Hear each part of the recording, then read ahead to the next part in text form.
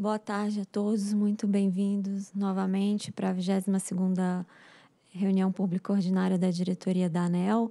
Vamos reiniciar a nossa, o nosso julgamento dos processos pautados. Eu peço ao secretário-geral que anuncie o próximo item. Boa tarde a todos. Próximo item será o de número 25, processo 48.500.00.3223.2021.57. Recurso administrativo interposto pela Enel Distribuição Goiás, em face do auto de infração número 4 de 2019, lavrado pela Agência Goiana de Regulação, Controle e Fiscalização de Serviços Públicos, AGR, que aplicou a penalidade de multa em decorrência do descumprimento de eh, dispositivos legais e regulamentares relacionados à qualidade técnica do fornecimento de energia elétrica. Diretor-relator, Efraim Pereira da Cruz, informe que há pedido de sustentação oral. Senhores diretores, a AGR, em conjunto com os técnicos da SFP da ANEL, no período entre 24 e 28 de junho de 2019, realizou ação fiscalizadora na sede da Enel Distribuição Goiás com o objetivo de verificar a prestação de serviços adequados quanto à qualidade do atendimento comercial. Foram registradas seis constatações 12 não conformidades e três determinações e uma recomendação, todas constantes do relatório de fiscalização 002 de 2019, AG, AGR-SFE, parte integrante do TN 003 de 2019, emitido em 30 de 8 de 19. Em 12 de setembro de 19, por meio da carta Enel Goiás 123 de 19, a distribuidora solicitou prazo adicional de 15 dias para apresentar a manifestação ao TN, por intermédio do ofício 1295 da AGR e de 16 de 9 de 19, a AGR concedeu prazo até 4 de 10 de 19. Em 4 de outubro de 19, a distribuidora manifestou no termo de notificação por meio da carta Enel Goiás 140 de 19.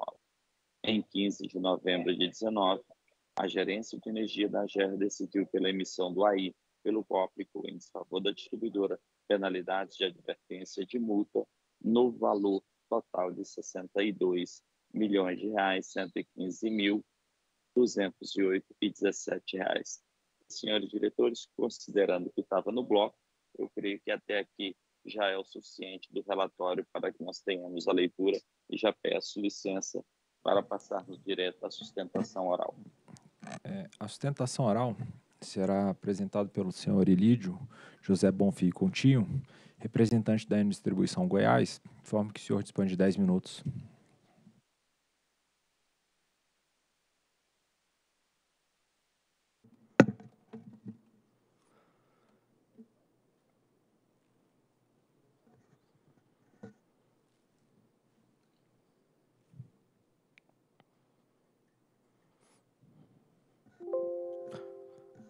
Tarde, doutora Camila. É, em nome da diretoria, cumprimento todos os colegas é, da agência, é, superintendência aqui presente e aqueles que nos acompanham. É, esse é um processo que a gente precisa parar para analisar, dado uma agenda, e aqui é, eu quero já é, reiterar o trabalho de fiscalização que a SFE, a SFE tem feito, junto com a agência estadual, mas que nesse caso específico a gente tem um problema, e aqui a gente está falando um pouco da dosimetria e do cálculo que foi feito para a multa. O ponto importante aqui para falar da agenda é que a gente está falando sempre de uma concessionária privatizada em 2017, que faz parte de um bloco de empresas que estavam no, naquele bloco de desestatização do controle federal e que é, no momento dessa fiscalização, se passava pouco mais de dois anos da privatização. Isso é importante colocar, porque a Enel Goiás ela tem tido uma sequência de fiscalizações que são bem importantes pontuar, porque quando a gente olha esse bloco de empresas que estavam nesse controle é, do processo de desestatização, a gente não vê da mesma forma essa quantidade de processos. Isso é um ponto bem importante. E eu queria começar pelo plano emergencial que é a vigência do plano emergencial. Ele é o primeiro plano é, emergencial da do segmento de distribuição no país. O que, que significa isso? A gente tem um processo muito bem estruturado dentro da SFE com plano de resultados para todas as categorias. né, seja o segmento de distribuição, transmissão, com acompanhamento periódico num ciclo anual. Esse caso específico, a Enel Goiás tem o primeiro processo do plano emergencial, que é um plano de 18 meses, com reporte mensal e reuniões mensais. Cabe aqui também citar que foi um acompanhamento junto com essa agência, com o governo do estado de Goiás, com o Ministério de Minas e Energia, com reuniões mensais nessa própria agência. Então, assim, um processo de um acompanhamento muito minucioso. Mas tem um ponto importante que é, ao longo desse processo, instaurado o plano emergencial, nós tivemos dois processos de fiscalização. Um deles no âmbito comercial e o segundo no âmbito técnico. Hoje o processo a gente vai falar exclusivamente do âmbito comercial. Mas o ponto importante, acho que o, o doutor Efraim já leu ali no, no início do voto, é, é, uma multa que ela foi originalmente de 62 milhões de reais. Existia um erro do ponto de vista de aplicação ali por conta do BMP. Após essa correção, essa multa chegou em 45,6 milhões. Ela é, chegou a ser intitulada como uma multa é, a maior multa comercial no segmento de distribuição. E ela precisava ter, naquele momento, em 2019, é, uma, uma penalidade que deveria ser exemplar. E o exemplar não, é, não são as minhas palavras, foi os termos né, utilizados por essa agência quando da aplicação dessa penalidade.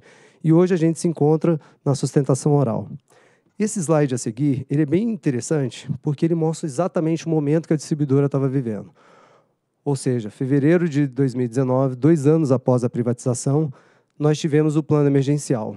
E no meio do plano emergencial, com compromissos firmados com a agência, tanto no aspecto comercial quanto no aspecto técnico, a gente teve essas duas fiscalizações. Lembro eu aqui pessoalmente conversando com o superintendente, né, o Dr. Diácono, hoje aqui compondo a mesa diretora, que falava que, olha, não, não caberia tanta fiscalização no meio de tantos compromissos e a gente via ali uma overdose de demandas do, por parte do regulador sem ter tempo hábil de uma recuperação. Por quê? Porque a gente está falando de uma distribuidora que se encontra em recuperação e essa casa conhece bem esse processo. Então, o que, que é um ponto que a gente queria trazer é que o plano emergencial ele foi encerrado pela diretoria geral dessa casa. Ele foi considerado como sendo é, trazendo resultados satisfatórios. Isso compõe inclusive a nota conjunta, né, a nota técnica da SFS, RD e existia uma melhora, como se evidencia até hoje, uma melhora contínua dos indicadores da distribuidora. Pelo, pelo, pela questão do, da fiscalização, lembro eu aqui na solicitação que foi feita à época, que a fiscalização ela seria meramente um processo administrativo e que, de fato, ela teria uma penalidade, porque não houve tempo hábil para recuperar. E esse é um ponto, quando eu comparei com as demais empresas que foram desestatizadas, é que a gente não vê esse, esse, esse, mesmo, esse mesmo vigor tá, por parte do regulador. E essa é a questão que a gente traz aqui, um pedido para a gente observar. Estamos tendo equilíbrio com as distribuidoras que foram privatizadas a partir de 2019? Essa é uma dúvida que eu acho que é importante para ponto de reflexão. E o segundo aspecto é com relação à majoração que foi feita, ou seja, a aplicação da dosimetria. É, essa, essa penalidade, né, que iniciou em 62 milhões, que foi para 45 milhões, e após o recurso na GR chegou a 43, lembro quando tive reuniões com o conselho diretor da GR, no estado de Goiás, e que a própria equipe da gerência de energia falava, Lídio, houve muita pressão, houve muita demanda de que essa multa tivesse um valor alto, um valor agregado muito alto. E eu lembro de uma expressão dita pela, pela gerência de energia da AGR, que chegaram a, a simular mais de 15 vezes para que realmente fosse essa multa nesse montante apresentado afinal. E o que a gente viu é, na majoração da gravidade, a gente vê que o descumprimento por plano de resultados já existia compromissos firmados no plano emergencial, ou seja, não caberia uma fiscalização naquele momento, esse é o entendimento, isso a gente pediu anulação dessa, dessa penalidade, esse era o pleito inicial, hoje a gente vem aqui simplesmente para dizer, olha, mesmo mantendo o processo punitivo e a multa, a gente entende que a dosimetria precisa ser corrigida. Por quê? Porque a gente viu aqui algumas aplicações inéditas. A primeira é a, a majoração em 25% nas não conformidades, ela extrapola os 50% que já é utilizado hoje, que resultou em 75%. Só essa parte a gente está falando de um adicional de 10 milhões de reais.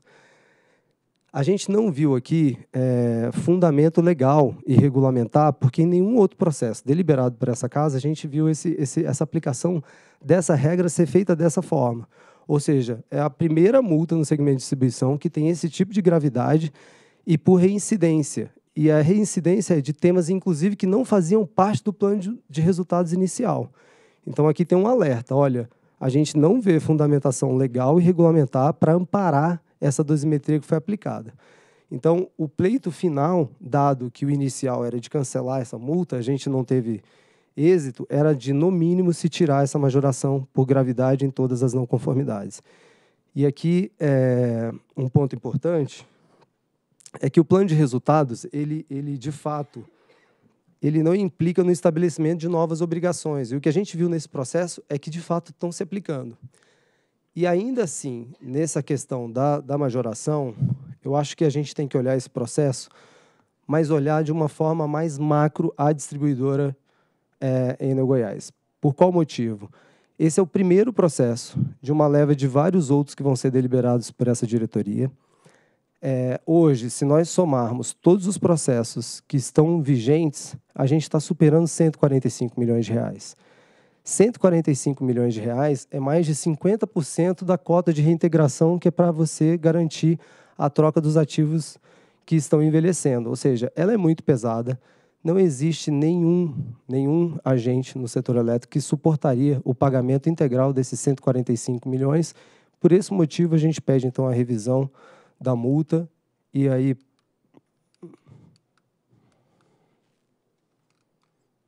falhou aqui puder passar, obrigado.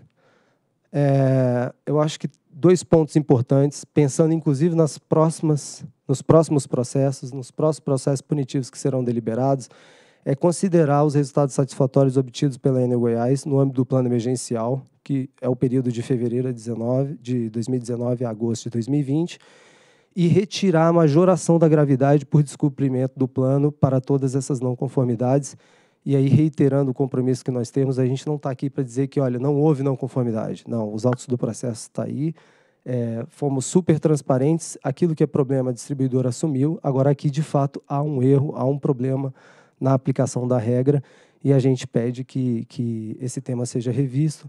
É o pedido do doutor Efraim e demais diretores. Obrigado. Obrigada, Elide, pela sustentação oral. Procuradoria. Muito obrigado, Elídio, pela sustentação oral em nome da Enel. A Procuradoria não emitiu parecer nesse processo específico.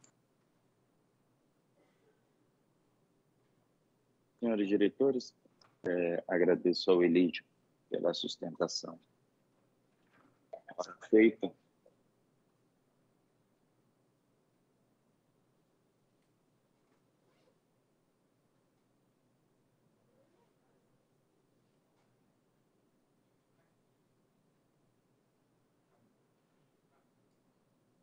senhores diretores, perdão, caí aqui, mas já retornando.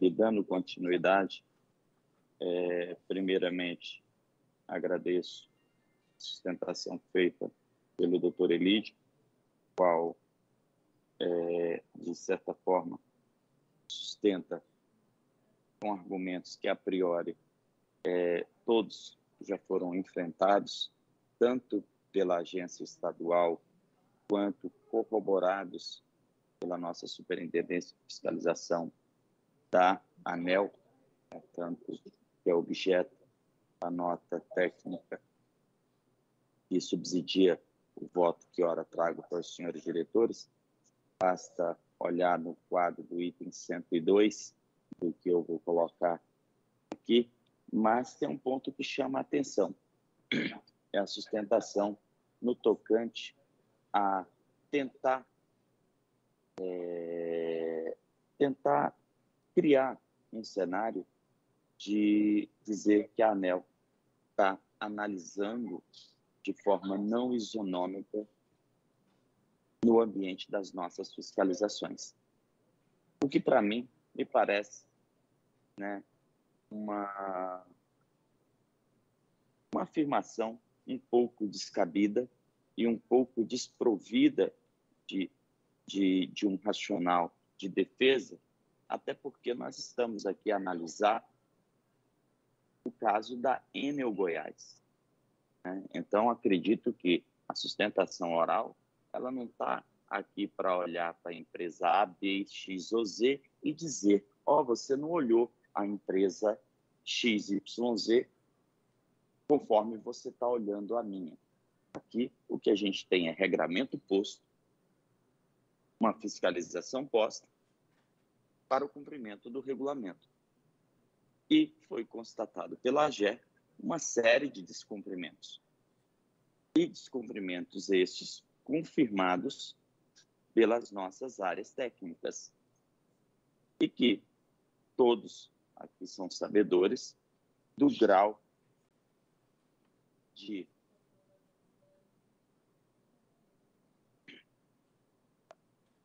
senhores, não sei se estão me escutando, mas todos são sabedores do grau de responsabilidade que tem as nossas áreas técnicas no intuito de tentar cumprir o regramento posto para as concessionárias.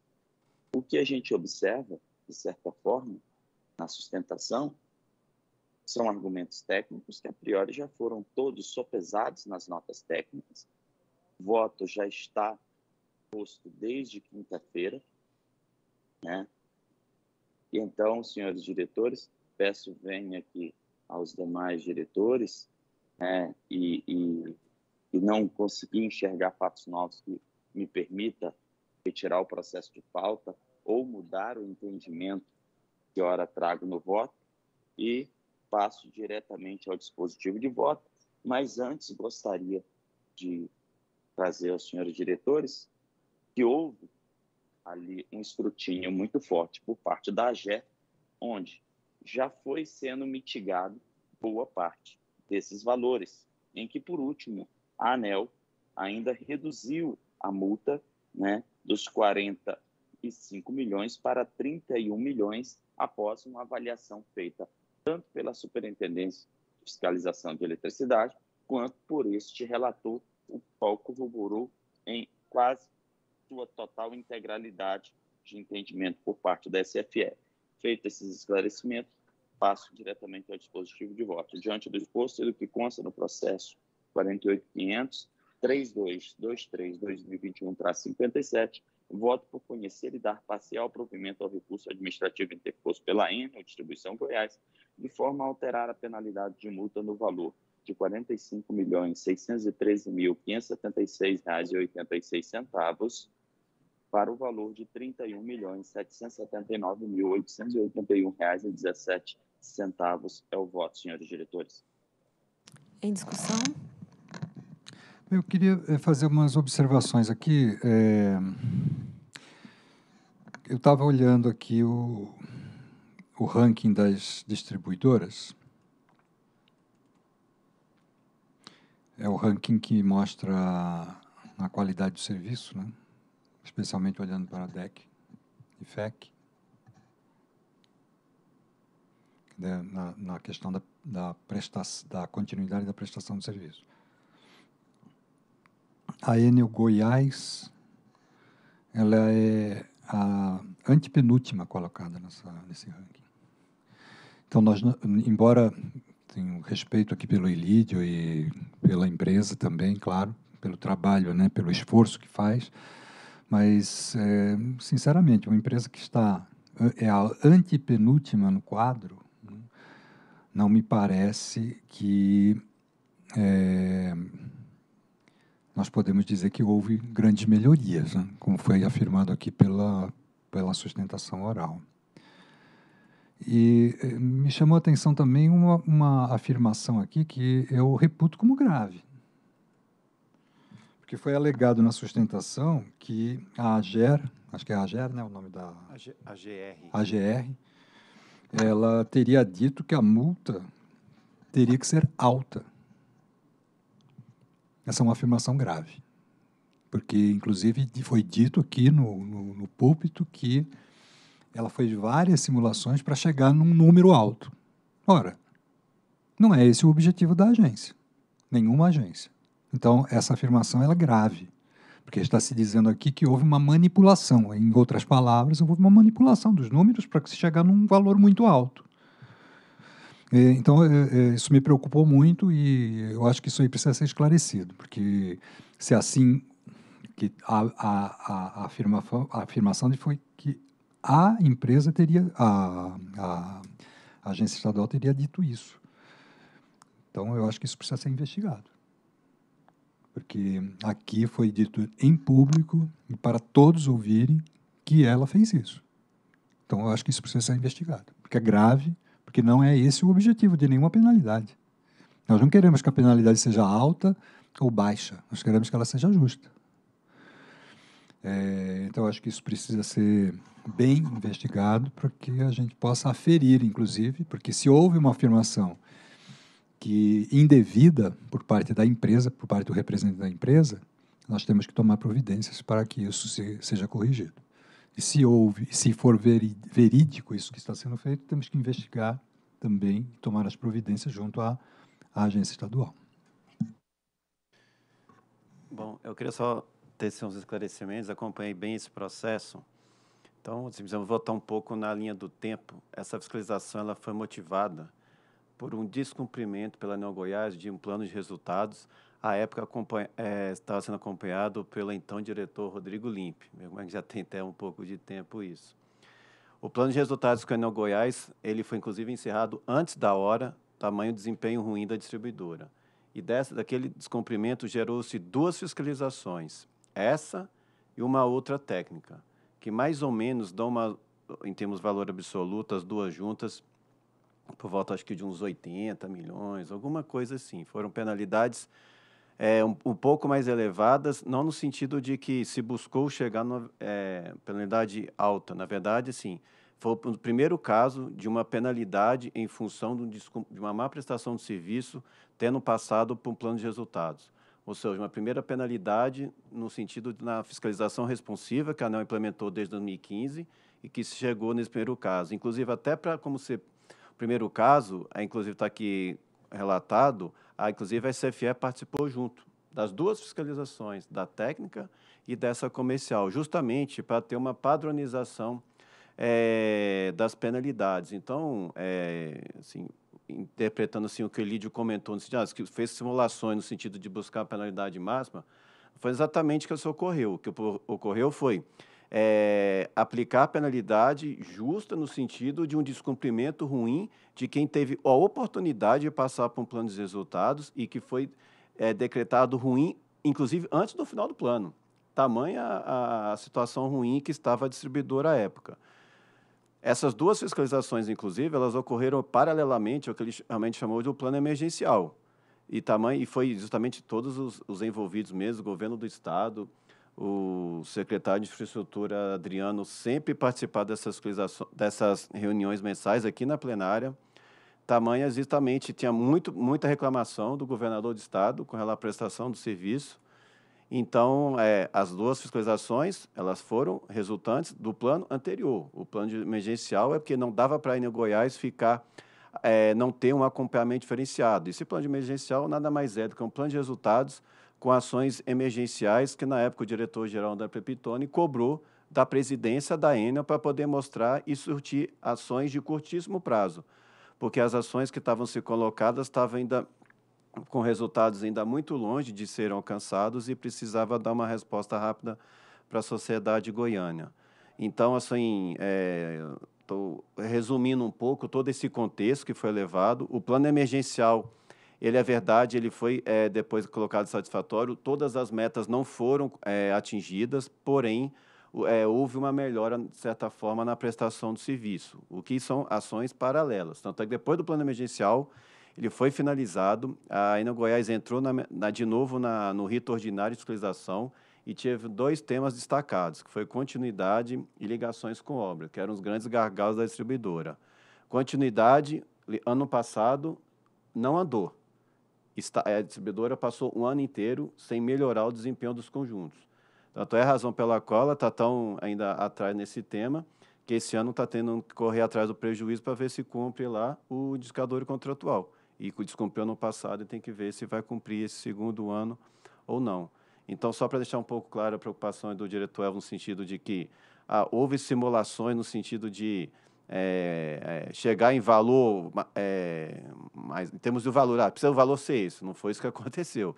Foi, na verdade, literalmente, um primeiro trabalho que foi feito, conjunto com a agência estadual, no sentido de qual o melhor a penalidade que deveria ser aplicada para fazer jus àquela distribuidora que não respondeu ao instrumento que a ANEL colocou como plano de resultados. E um plano de resultados à época que era inclusive de dois anos, ao contrário de hoje, que é apenas de um ano.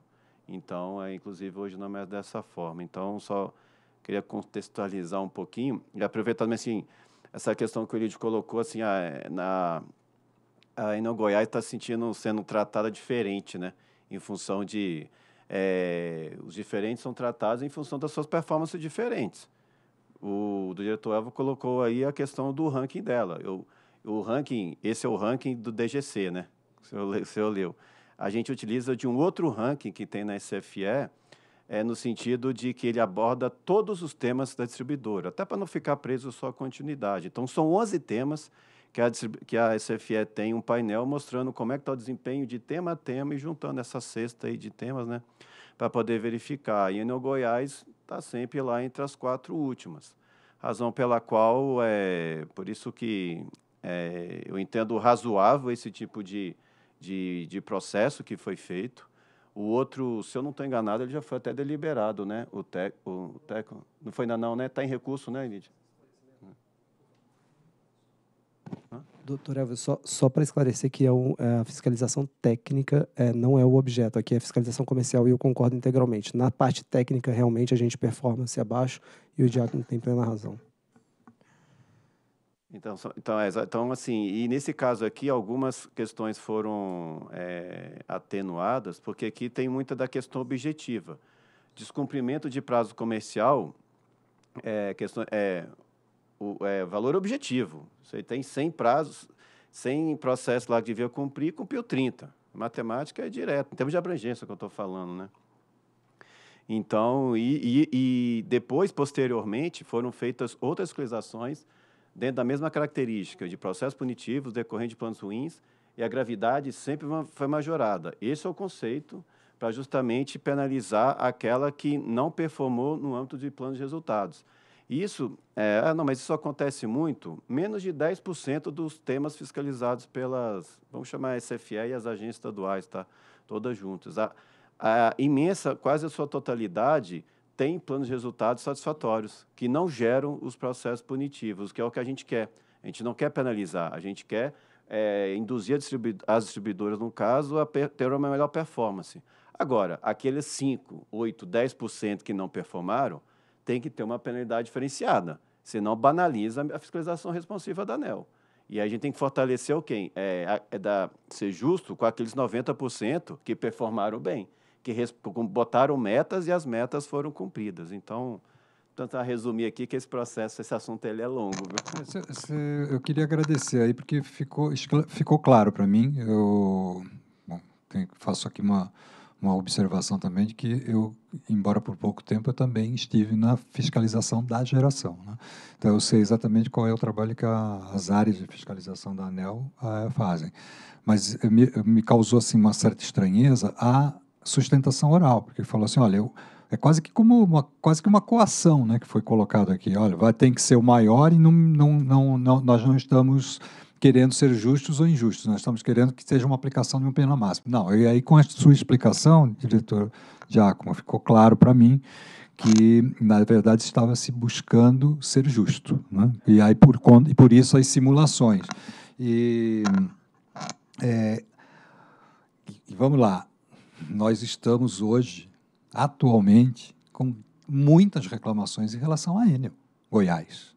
Né? Como você disse, ela está sempre entre as quatro últimas colocadas no, no, no, cômputo global, não só de continuidade, mas também com, olhando outros fatores. Então, aqui nós estamos diante de uma empresa que com, nós não podemos aqui discordar que ela não presta um bom serviço. E isso tem que ser corrigido e sei que as áreas de fiscalização estão agindo para isso. Muito bom, senhores. É, eu acho que foi bastante importante mesmo esse esclarecimento, porque também me causou estranheza a, a, a sustentação oral, né? A gente tem que ter um pouco de cuidado com as palavras, porque de fato é, esse, esse processo passou por um escrutínio muito grande, tanto da agência né, estadual quanto da, da própria fiscalização da ANEL e do relator da matéria. Né? É, inclusive, houve até agora uma, uma redução da, da, da penalidade né, no final. Então, é, e é o que o, o, o, só reforçando, né, o que o, os esclarecimentos do Giacomo. Acho que o sentido de a, a penalidade exemplar que foi dita é nesse sentido, né, dentro do, do, do que a gente entende que é uma fiscalização responsiva, né, a ação fiscalizatória ela tem que ser compatível com a ação do, do agente fiscalizado. Então, como o diretor Giacomo falou, já, ela já havia passado por um por um processo de, de plano de resultado. Então, a gente já está numa segunda etapa, né? Então, é, a, fiscalização responsiva passa por essas etapas e a ação da fiscalização tem que ser compatível mesmo com a resposta ao incentivo que é dado, as orientações que é dada, as, as, as orientações preventivas, né? E toda, e toda a aplicação da penalidade ela é feita de forma padronizada, né? É, então, eu, eu acredito que, que houve uma. Foi um pouco infeliz mesmo a, a, a, a sustentação oral, é, nesse sentido, né? É, mas eu entendo que já foi bem esclarecido aqui. Deixa eu só fazer uma complementação. Essencialmente, ela foi atenuada por causa de uma não conformidade. Então, até a questão da justiça que na SFE a gente, inclusive, alterou o grupo da multa que a gente entendeu não adequado, então reduziu em 100 vezes, de 9 milhões 800 mil para 98 mil. Só para dizer que, né, apesar do, do intuito né, de ser, ter uma penalizado, penalidade majorada em função do desempenho ruim, a gente não foge aquilo que está escrito, regulamentado para para não criar injustiça com ninguém. Então, só para deixar isso claro, porque senão a gente poderia eventualmente, eventualmente tentar defender né, uma penalidade, já que foi a não conformidade 3, por um valor muito superior. E ela foi, sim, nessa de 9 milhões 800 para 98 mil, na página a gente sabe que isso aqui é irrisório. Mas, enfim, era o que estava escrito. Inclusive, essa fiscalização, ela teve, em função das infrações, ela utilizou da norma antiga de penalidades, antiga 63, que, inclusive, tinham dispositivos que hoje têm um enquadramento diferente. Mas a gente tem que ser justo e utilizar aquilo que estava normatizado à época. Se fosse hoje, muito provavelmente, é, se fosse da nova norma, essa, essas penalidades seriam maiores. Mas a, o que tínhamos à época era isso, né? Tá certo. Em votação? Eu, eu voto com o relator. Eu também voto com o relator.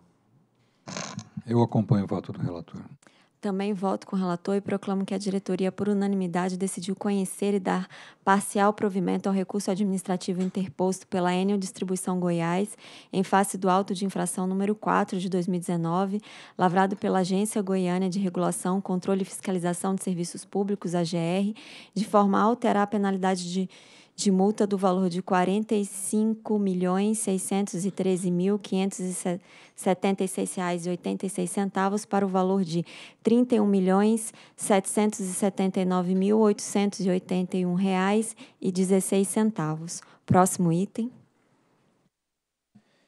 Item 26. Processo 48.500.0054.65.2020.02.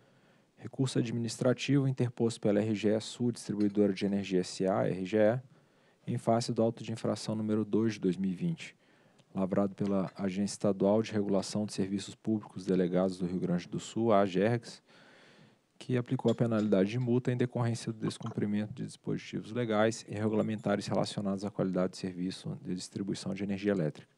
Diretor-relator Efraim Pereira da Cruz informa que há pedido de sustentação oral.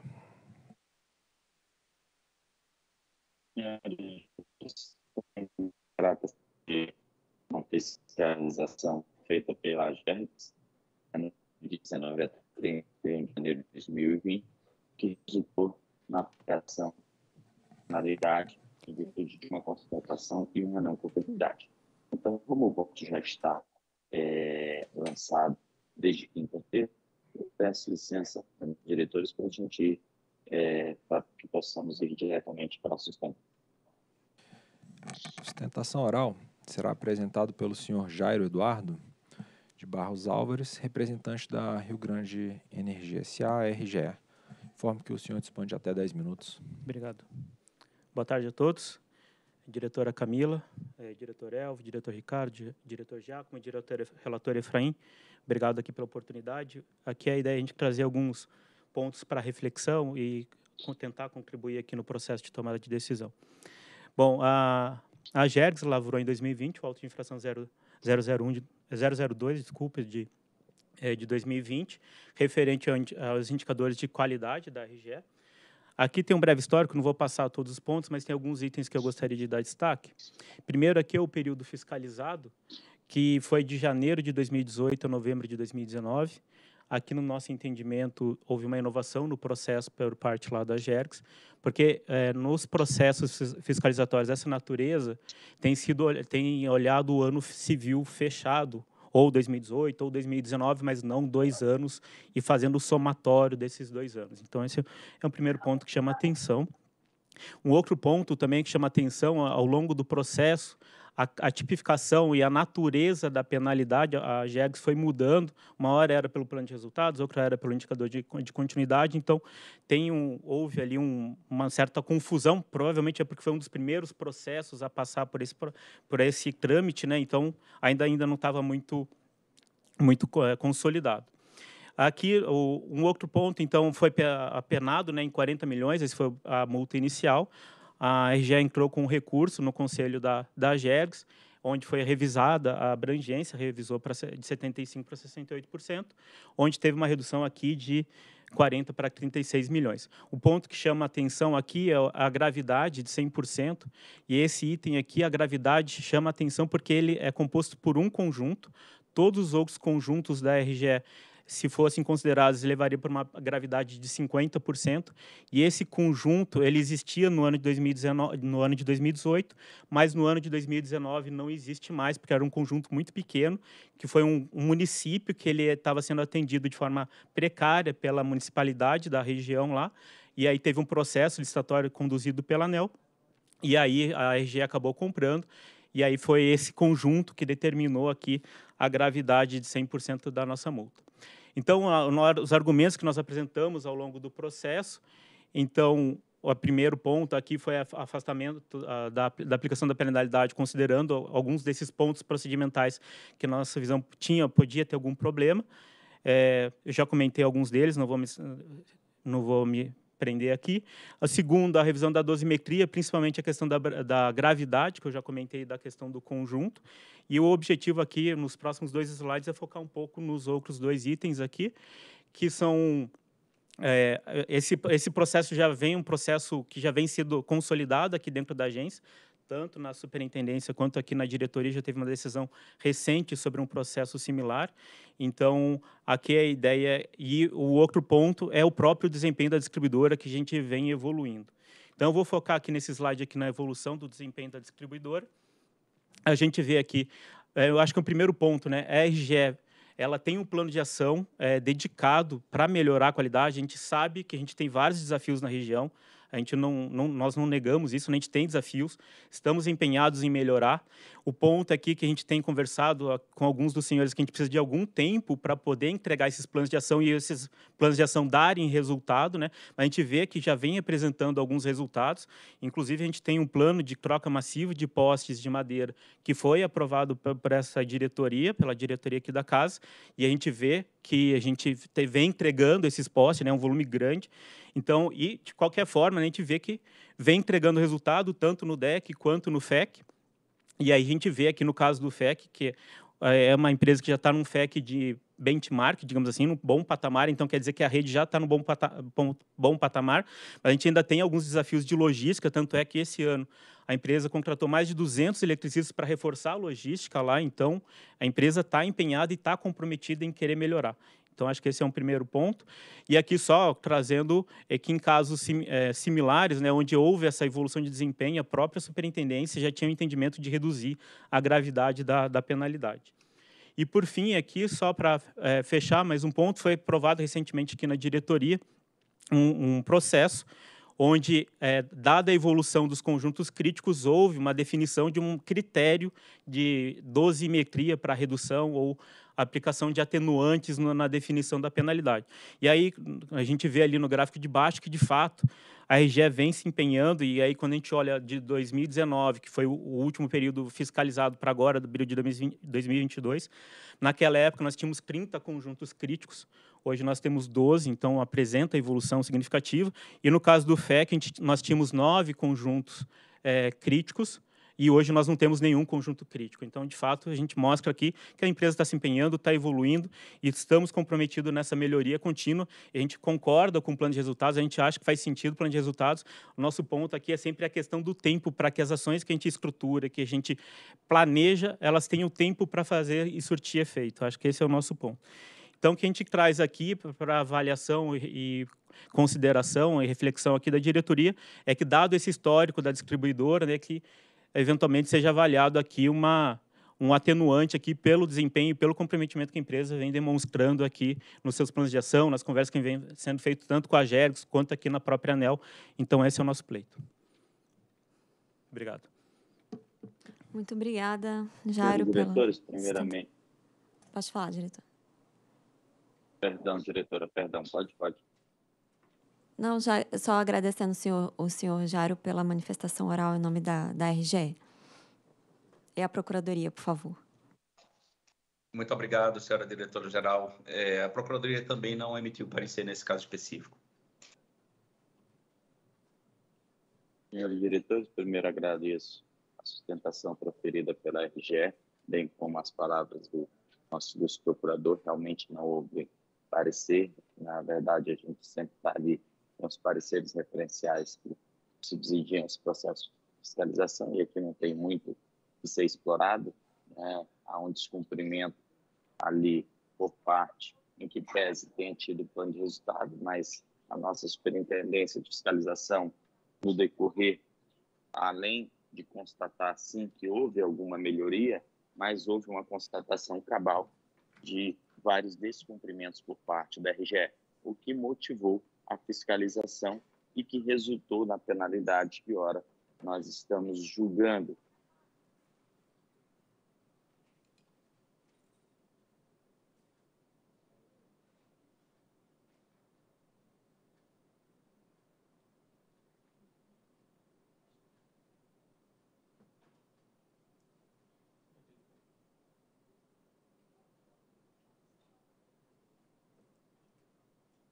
Diretor, nós não estamos te ouvindo.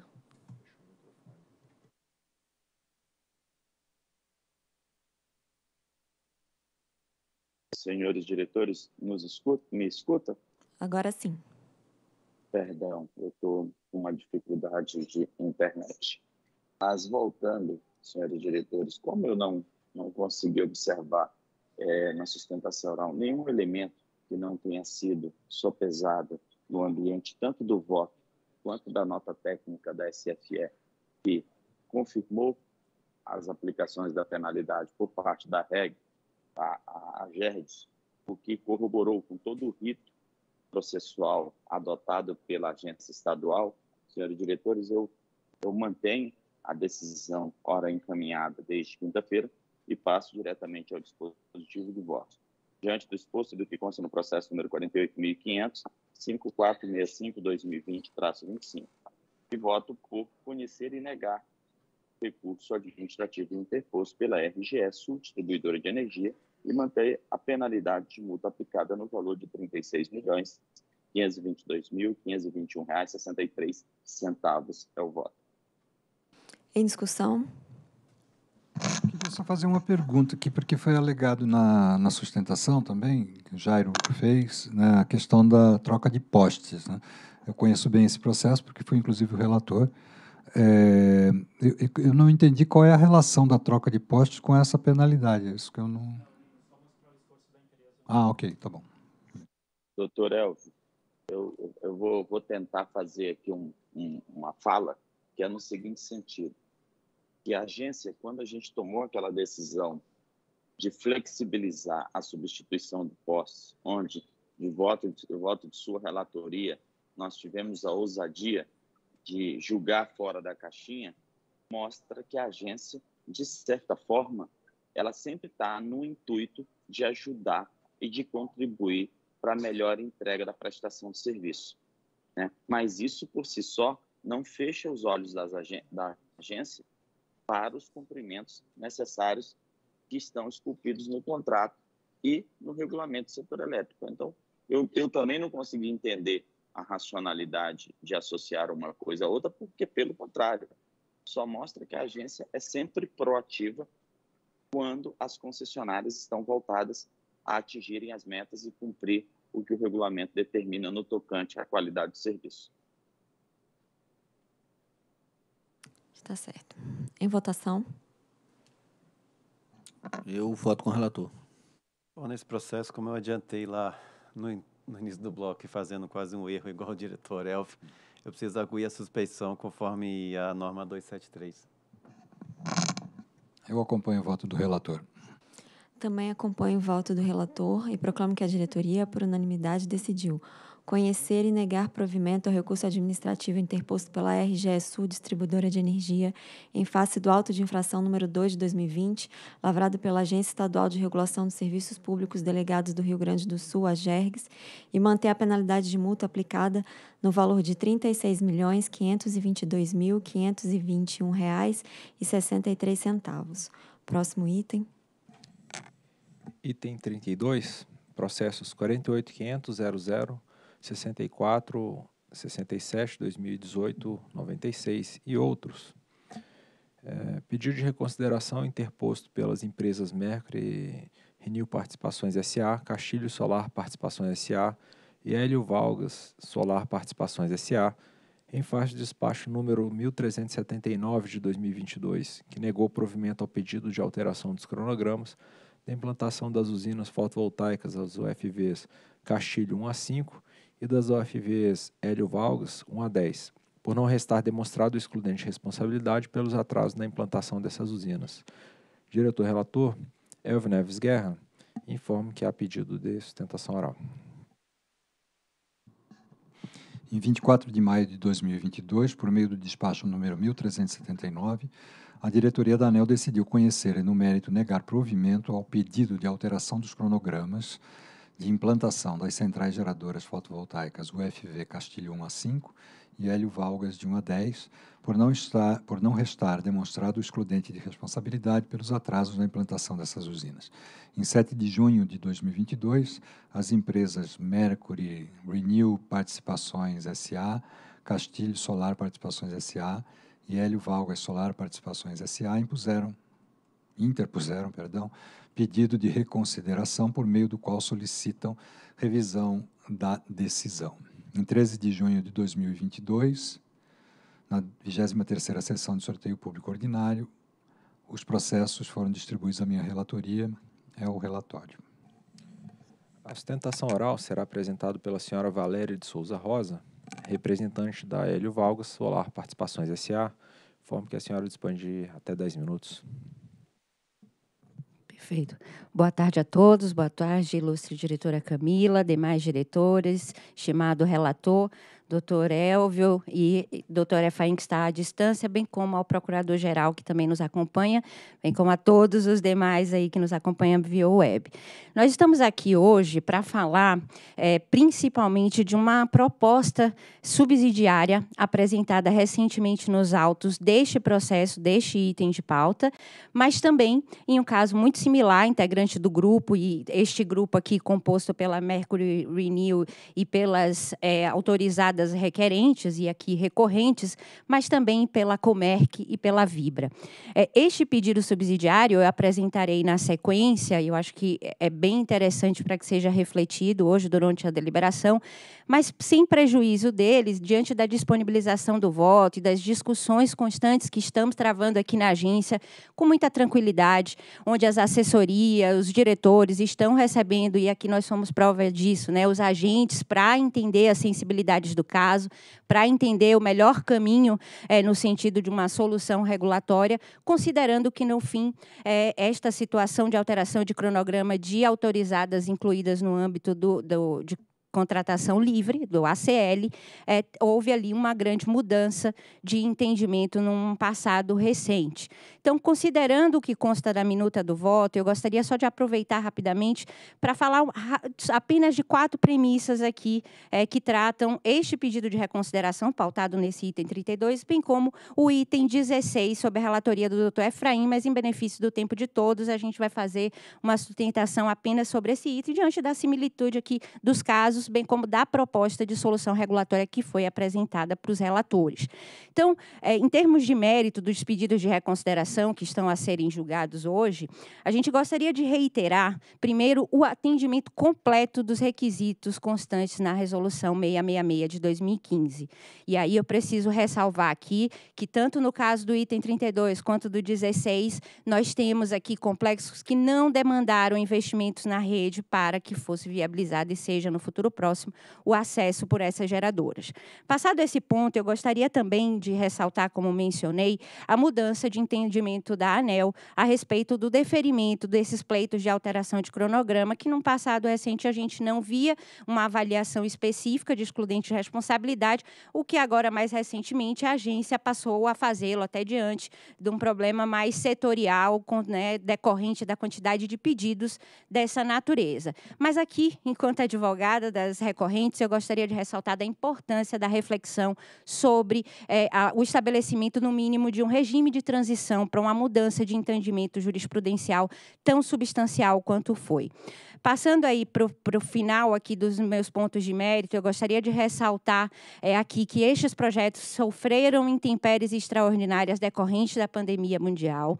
Né? E aqui a gente não está falando só das questões locais, mas também na conjuntura é, internacional, que trouxe prejuízos que já estão sendo suportados pelos agentes, então aqui dentro de um certo risco assumido pelo empreendedor, mas superou e muito a capacidade de gestão e aí de prevenção previsibilidade e evitabilidade acerca dessas intempéries. Por conta disso, e dentro deste cenário de pandemia mundial, a gente ainda foi vitimado aqui por um outro fator, que foi a crise energética na China.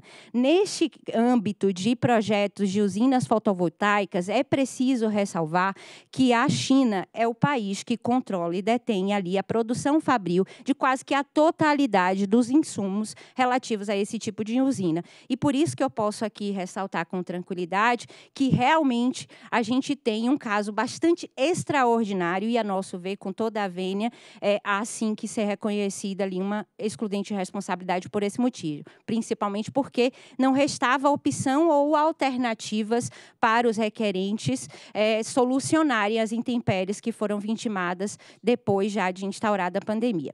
Feitas essas ressalvas aí sobre o mérito dos pedidos de reconsideração, agora passo precisamente à proposta de solução regulatória que foi apresentada tanto nesse item, doutor Elvio, quanto no item sobre a relatoria do doutor Efraim. O que seria essa proposta? Seria um pedido de diferimento dos encargos dos custos relativos ao complexo de Hélio Valgas e ao complexo de Cacilândia, esse relativo ao item 16. Aqui, então, no item em deliberação, o caso do complexo Castilho não demanda alteração em relação aos encargos do CUS, porque a conexão ela está sendo tratada no âmbito da distribuição e negociada ali com a distribuidora local. Então, para este item específico, o complexo de Hélio Valgas requereu um diferimento, ou seja, um parcelamento dos valores de encargos relativos à antiga data de entrada em operação pretendida pelos agentes setoriais e que não foi possível cumpri-la, é, e entre este intervalo e a data de efetiva entrada em operação, para que estes valores desses encargos, tal qual precedentes dessa agência já viabilizaram, não precedentes idênticos, a gente está aqui com uma situação situação muito sui generis, né, e, e de fato sem é, analogia mais direta, mas a gente observou e trouxe aos autos que há viabilidade regulatória, já vista tratamentos que já foram dados anteriormente quanto ao diferimento de encargos ou de multas rescisórias relativas a custos. Diante disso, a nosso ver, é, diante da viabilidade regulatória, a gente roga é, que a ANEL e aí os diretores aqui avaliem essa proposta de requerimento subsidiário ao pedido pedido de reconsideração, no caso deles não serem providos, e sendo certo que houve aqui toda uma questão de, de prazo para que houvesse essa deliberação, e sendo certo que este requerimento é mais recente nos autos, é, alternativamente, se não for o caso deste pedido é, subsidiário ser avaliado aqui no mérito discutido por esta diretoria colegiada hoje, que ao menos seja ali endereçado para que isso possa ocorrer nas próximas reuniões de diretoria, naturalmente em tempo hábil é, do, da avaliação ser considerada para o ciclo é, tarifário de 2022 a 2023. Como ainda não foi estabelecida a receita das transmissoras para o próximo ciclo, a gente entende que há possibilidade de, se não hoje, ao menos nas próximas reuniões de diretoria, que isso seja avaliado e endereçado no sentido de, ao menos, é, no caso de não deferido os pedidos de reconsideração no mérito, que seja oportunizado o parcelamento por um período razoável, a fim de evitar ainda maiores prejuízos para além do que os agentes setoriais já estão suportando aqui neste caso concreto, que, repito, é extraordinário, é singular. Esses agentes demonstraram a sua diligência, demonstraram o estágio avançado avançado dos seus projetos, demonstrar um apetite, inclusive, de continuar investindo no setor. E aí, para finalizar a minha fala, eu, eu, eu, consigo dizer com tranquilidade que o nosso requerimento subsidiário, sobretudo, é, oferece à agência, nesse momento, um caminho do meio. Um caminho equilibrado, um caminho no sentido da missão da agência reguladora, que é, sem dúvida nenhuma, primar pelo ambiente regulatório equilibrado, ou seja, nem tão ao norte, nem tão ao sul, mas trazendo aqui um entendimento que também privilegie o ponto de vista dessas geradoras que foram, sim, vitimadas por questões extraordinárias. Então, encerro por aqui e agradeço imensamente pela atenção de todos. Obrigada. Muito obrigada, doutora Valéria, pela sua sustentação oral, sempre muito clara no, na, na sua manifestação. Peço manifestação da, da Procuradoria. Senhores diretores, também agradeço a Valéria pela sustentação oral é, direta é, e muito, muito esclarecedora sobre o, sobre o caso. Hoje é um dia de recebermos grandes advogados. De manhã foi Dr. Waltenberg, hoje é tarde Valéria. É, sobre o, o caso concreto, é muito importante a gente ter, ter em mente que houve o ajuizamento de mandados de segurança é, e a, a autora, a requerente, ela foi representada, pela, salvo engano, pela Absolar no, no, no mandado de segurança. E nesse mandado de segurança foi fixado o prazo que vence hoje para o julgamento do pedido de reconsideração. Então, a diretoria precisa encerrar o processo hoje. É, não, não me parece que foram trazidos argumentos novos em relação ao, ao, à decisão anterior, mas o elemento novo que está sendo trazido é essa proposta do meio, que eu imagino que a diretoria precisaria de algum tempo para refletir sobre ela. É invocado aqui o precedente da UHS São Roque, muito bem conhecido de todos, é, em especial do, de, do, do diretor Giacomo, que está relatando um outro pedido de reconsideração da própria usina São Roque, e lá, na situação da São Roque, foram consideradas algumas especificidades, e por essa, por essa, é, por essa consideração, a diretoria terminou por permitir o parcelamento em 12, em 12 meses do, da multa rescisória. Então, é, esse é o contexto. É, e aí a preocupação que eu trago é, aqui para o colegiado é, é, precisamos encerrar, é, julgar o pedido de reconsideração hoje, sob pena de descumprimento da decisão, a não ser que a parte autora venha renunciar a esse prazo.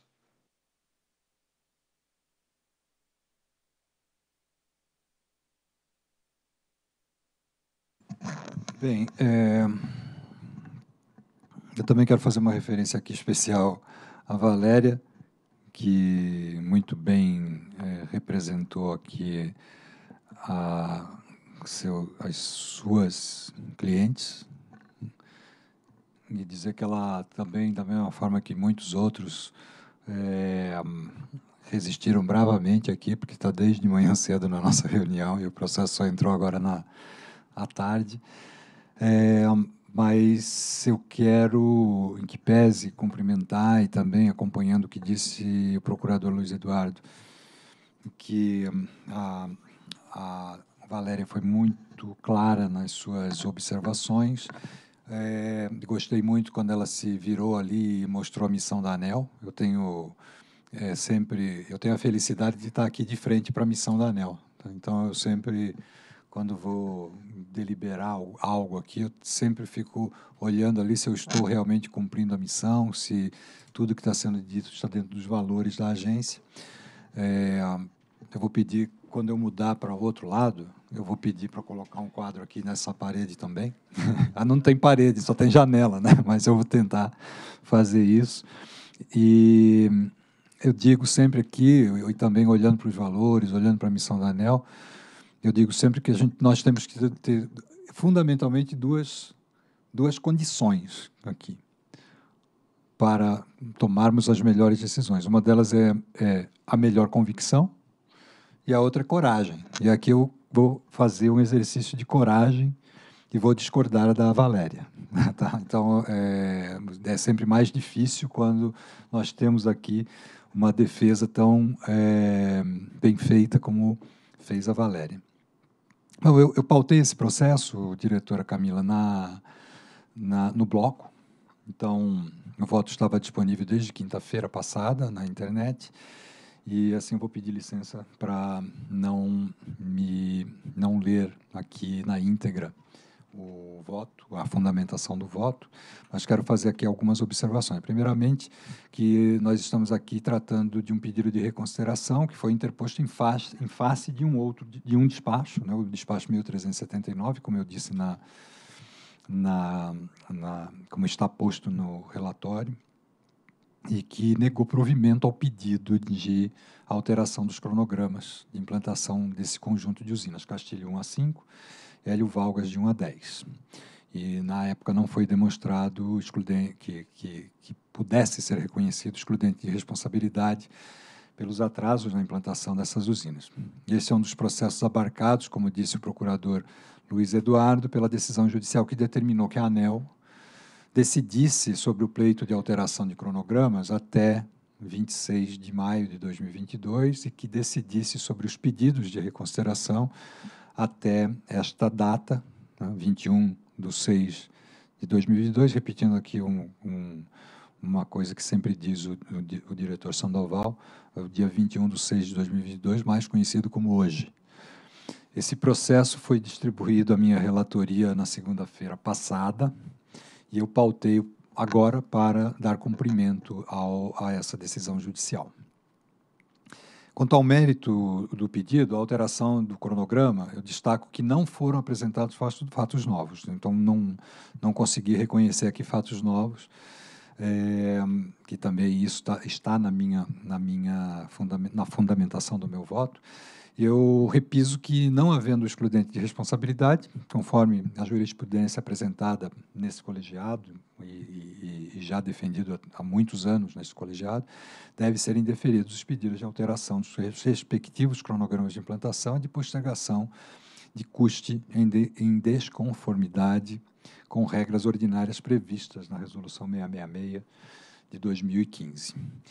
É, na sustentação oral, a, a, a, a Valéria, representante da, das empresas, da empresa ou das empresas, ela um, traz um pedido subsidiário, que é o diferimento dos valores do AEUST decorrentes da vigência dos custes até a data de entrada em operação das centrais geradoras, para que seu pagamento, então, como foi muito bem esclarecido e posto por ela, para que o seu pagamento seja devido apenas após a entrada em operação comercial do complexo Hélio Valgas e seja parcelado ao longo da vigência dos respectivos contratos de uso do sistema e transmissão, diferindo-se ao longo do prazo de operação das usinas. É, isso significa dizer que não se estende o pedido para as usinas fotovoltaicas Castilho 1 a 5, como também foi bem ressaltado por ela põe que pese essa alegação de que a integralidade da receita do segmento transmissão não será prejudicada, tendo em vista que a possibilidade de aplicação de parcelas de ajuste às receitas anuais permitidas das transmissoras a cada ciclo tarifário assegura a sua arrecadação.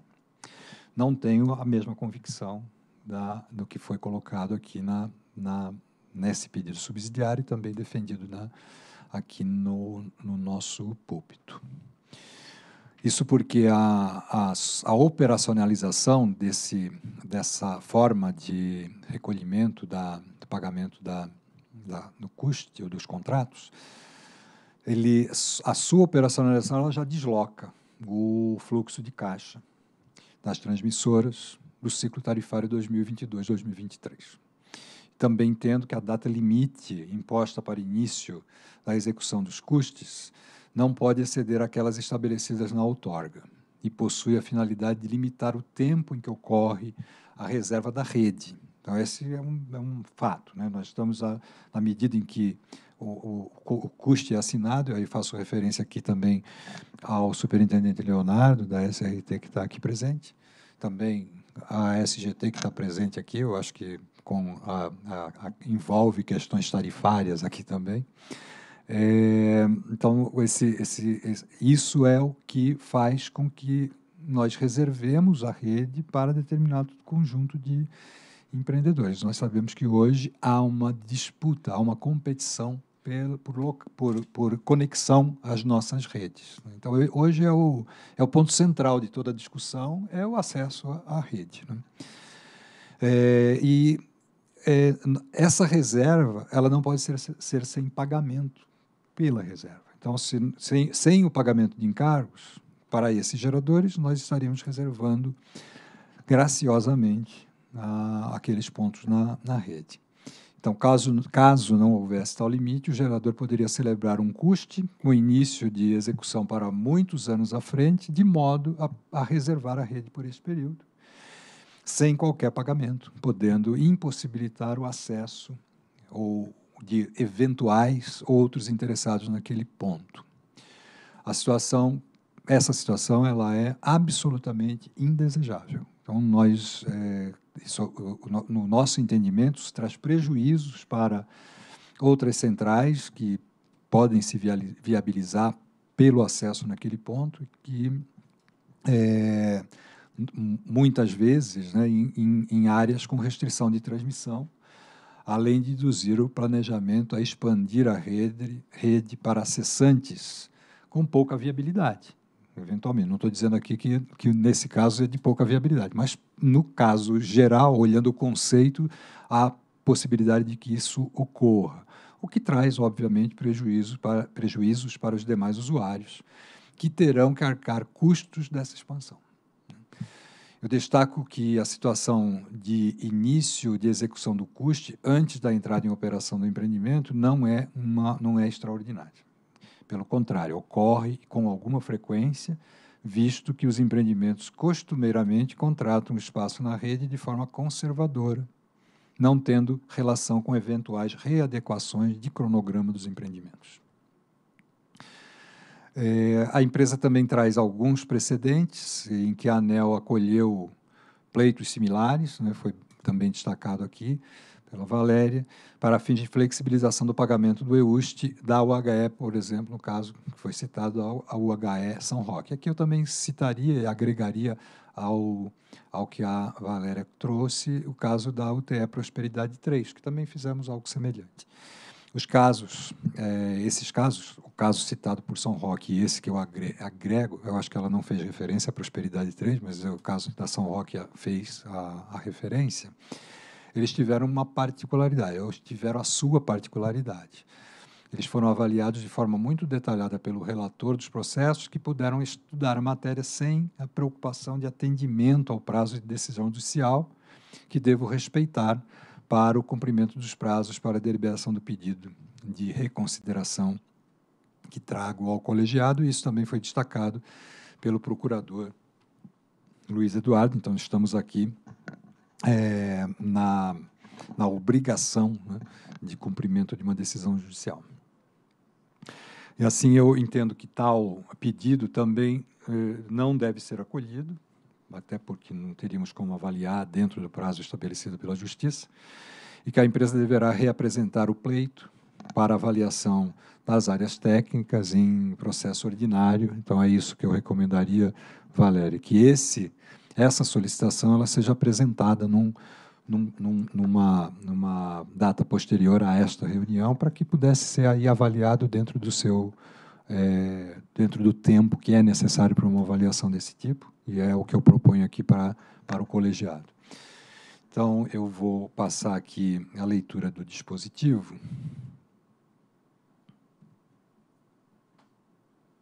É, diante do exposto do que consta dos processos 48.500.002914 2018 38 e os demais relacionados aqui na, no dispositivo, voto por conhecer e no mérito negar provimento ao pedido de reconsideração interposto pelas empresas Mercury Renew Participações SA, Castilho Solar Participações SA e Hélio Valgas Solar Participações SA, em face do, do despacho número 1379 de 2022, que negou provimento ao pedido de alteração dos cronogramas de implantação das usinas fotovoltaica, fotovoltaicas.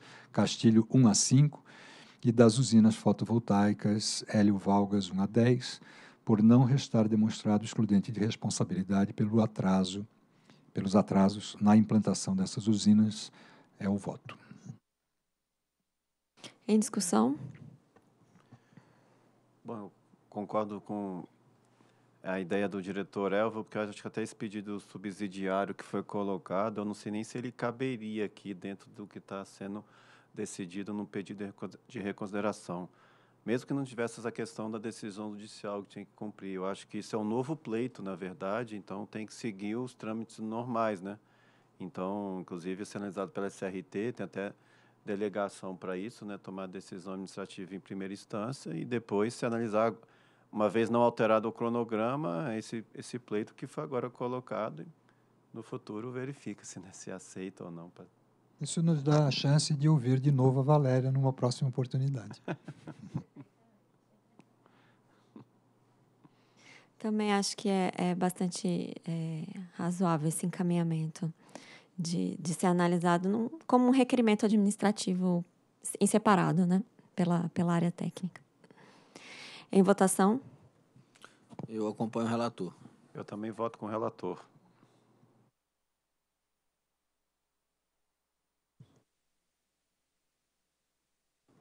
Então, acompanho, também acompanho o voto do, do relator e proclamo que a diretoria por unanimidade, decidiu conhecer e, no mérito, negar provimento ao pedido de reconsideração interposto pelas empresas Mercury Renew Participações, Castilho Solar Participações e Hélio Valga Solar Participações, em face do despacho 1379 de 2022, que negou provimento ao pedido de alteração dos cronogramas de implantação das usinas fotovoltaicas UFVs Castilho 1 a 5 e das UFVs Hélio Valgas 1 a 10, por não restar demonstrado o excludente de responsabilidade pelos atrasos na implantação dessas usinas. Próximo item.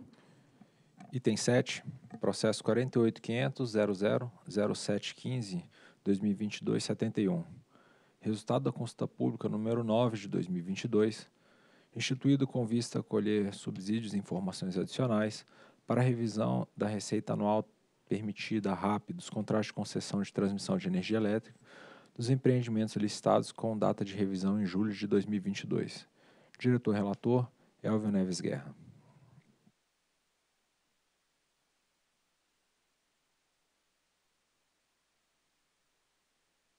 Perdão. O submódulo 9.2 dos procedimentos de revisão tarifária, PRORET, estabeleceu os conceitos gerais e a metodologia aplicável à revisão periódica dos contratos de concessão para a prestação do serviço público de transmissão de energia elétrica, otorgados mediante licitação, na modalidade de leilão público. Por sua vez, o submódulo 9.1 do PRORET definiu as metodologias e os critérios gerais para a revisão periódica das concessionárias de transmissão não licitadas, estabelecendo, estabelecendo, não obstante, alguns conceitos e parâmetros aplicáveis a todas as transmissoras.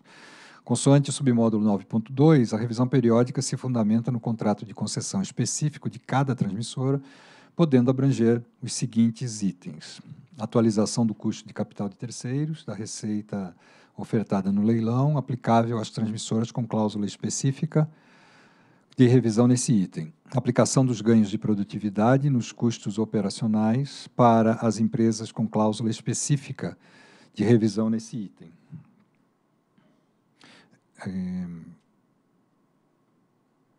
revisão dos valores de RAP estabelecidos provisoriamente pela ANEL, referentes às no, referente às novas instalações, para as concessionárias que possuem autorização de reforços e melhorias, e captura em favor da modicidade tarifária de parcela dos ganhos denominados de outras receitas, eh, e é, são esses, portanto, os, os cinco, os quatro eh, pontos que foram, fazem parte do, do submódulo ponto 2. A tabela 1, um, que consta no voto, está na tela, lista ah, ou relaciona as 70 concessionárias licitadas, cujas receitas passarão por revisão em 2022, nos itens apontados no parágrafo anterior. Observa-se que 69 transmissoras terão a RAP ofertada reavaliada, que no caso é o item A, é, comentado anteriormente, 29 apresentaram ativos incrementais, reforços e melhorias, possíveis, passíveis de revisão da receita e 16 declararam outras receitas. Então, aqui tem a tabela onde estão relacionados todos os, todos os empreendimentos. Por meio do ofício circular número 6, de 7 de fevereiro de 2022, a Superintendência de Gestão Tarifária, SGT, e Fiscalização Econômica e Financeira, SFF, solicitaram às concessionárias de transmissão essas que estão na tabela 1, informações e documentos comprobatórios que permitiram o cálculo dos índices de reposicionamento econômico a serem aplicados às receitas das concessionárias no ciclo 2022-2023. Em 14 de março de 2021, na décima sessão de sorteio público ordinário, o processo foi distribuído à minha relatoria. Por meio da consulta pública número 9 de 2022, realizada entre 30 de março e 13 de maio de 2022, a ANEL submeteu para discussão pública o aprimoramento do cálculo da RAP das concessionárias de transmissão, com data de revisão em julho, no mês 7 de 2022. Em 20 de junho de 2022, a SGT analisou as contribuições recebidas na CP número 9 e submeteu à diretoria da ANEL os resultados da revisão tarifária de 2022 na RAP das transmissoras. É o relatório. Procuradoria. Senhores diretores, por não haver é, questionamento jurídico, a Procuradoria não foi instada a se manifestar por meio de parecer.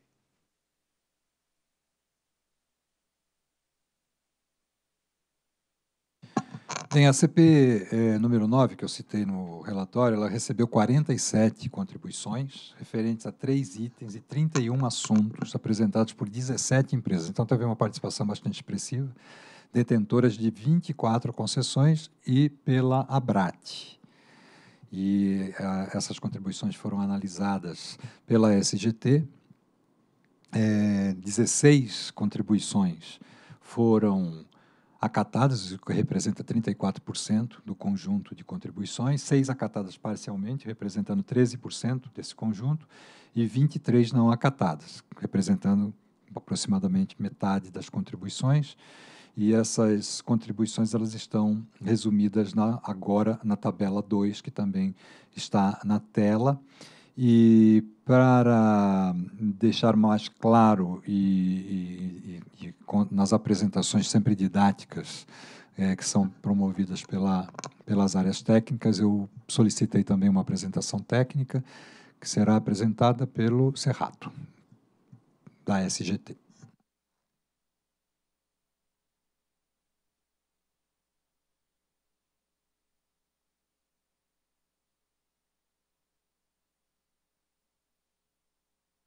Boa tarde aos presentes e aos ouvintes da internet. Eu vou fazer uma breve apresentação que vai tentar dar uma visão geral do que foi a revisão agora das transmissoras licitadas no ciclo 2022-23. O escopo dessa revisão, ela já foi citada pelo Dr. Elvio, ela parte de quatro itens. No entanto, a, o item é, B é, ele está em discussão na SRM, aplicação desses ganhos de produtividade. A proposta da SRM no momento é considerar igual a zero. Então, nesse caso, nós consideramos igual a zero até uma segunda decisão ou uma revisão dessa decisão da SRM. Esses três itens restantes, eles foram analisados para todas essas concessionárias. É, ali eu observo que são 70 concessionárias com revisão de receita ofertada na licitação, e dentre elas, mais 29 são aquelas que têm a receita é, de reforços e melhorias que também sofrem revisão. Antigamente, esse quadrinho era bem pequeno, viu? A cada ano ele tem aumentado tanto, ele está ficando não legível, né? E até os resultados aqui eu vou ter que resumir, porque realmente o crescimento de, de, de transmissoras é, tem sido exponencial. Ah, o quadro que o Dr. Elvio apresentou é esse, e já foi citado o número de, de contribuições que foram acatadas, parcialmente acatadas e não acatadas. Bem, eu quero citar aqui algumas contribuições, aquelas que, mais, que foram as mais importantes e que geraram mais discussão dentro da SGT e até é, foram para outras áreas, como a da TPE e da TCC, em que eles apontaram que a equação do custo real do capital de terceiros calculado na planilha da RAP ofertada no leilão não era a mesma utilizada no, no edital de licitação. É, conversamos com outras áreas, a SRM principalmente, e a SRM realmente identificou que num leilão em 2015 eles alteraram é, a equação do custo de capital de terceiros. Não é uma é, é, é um erro, eles não corrigiram a equação. Eles tentaram aperfeiçoar a equação naquele leilão especificamente, mas afirmaram que ambas as equações as, a, que eles utilizavam, a que eles a, a, é, é, implementaram e que depois voltaram à anterior, são equações corretas, tecnicamente são corretas, é que o resultado dessa equação que eles utilizaram, ele foi divulgado no edital, no, na, como na minuta lá no, no edital de licitação, e que os, os, os, os proponentes ali daquele edital tiveram condição de usar aquele número para compor o seu resultado e, e a sua proposta.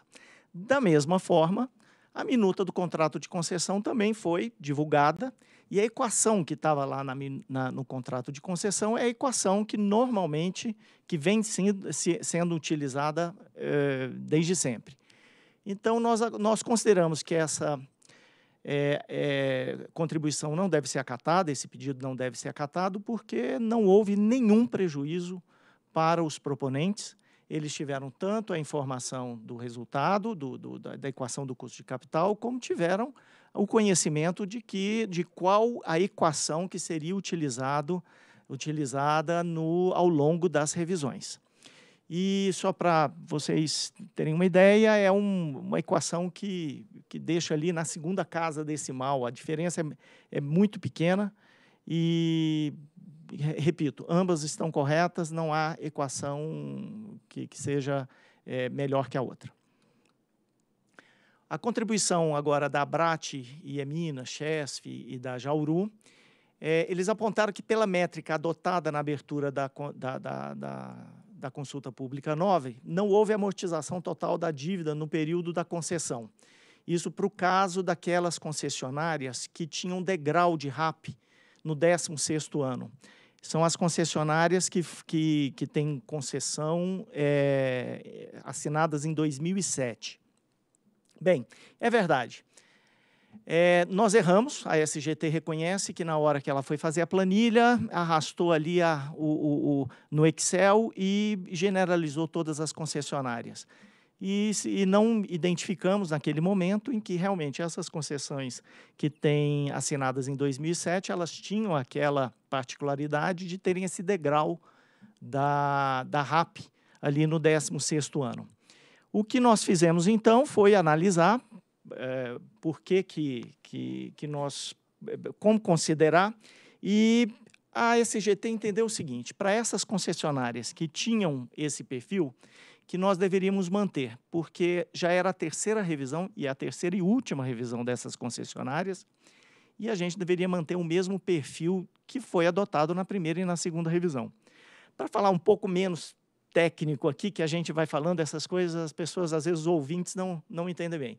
Isso aí é o seguinte: é, é, é, o, é o custo da dívida que nós prevíamos que essas empresas teriam que, ter, que, que, obter no mercado, se a RAP vai incorporar elas ao longo de 15 anos ou vai, ou vai incorporar, nós vamos colocar ali aquele valor ao longo de 30 anos. É isso que eles pediram. É, o que nós fizemos foi uh, colocar as coisas da forma mais é, coerente. Para aquelas concessionárias com no ano de 2007, nós mantivemos é, o pagamento. A RAP vai pagar durante 15 anos esse, esse custo de capital de terceiros.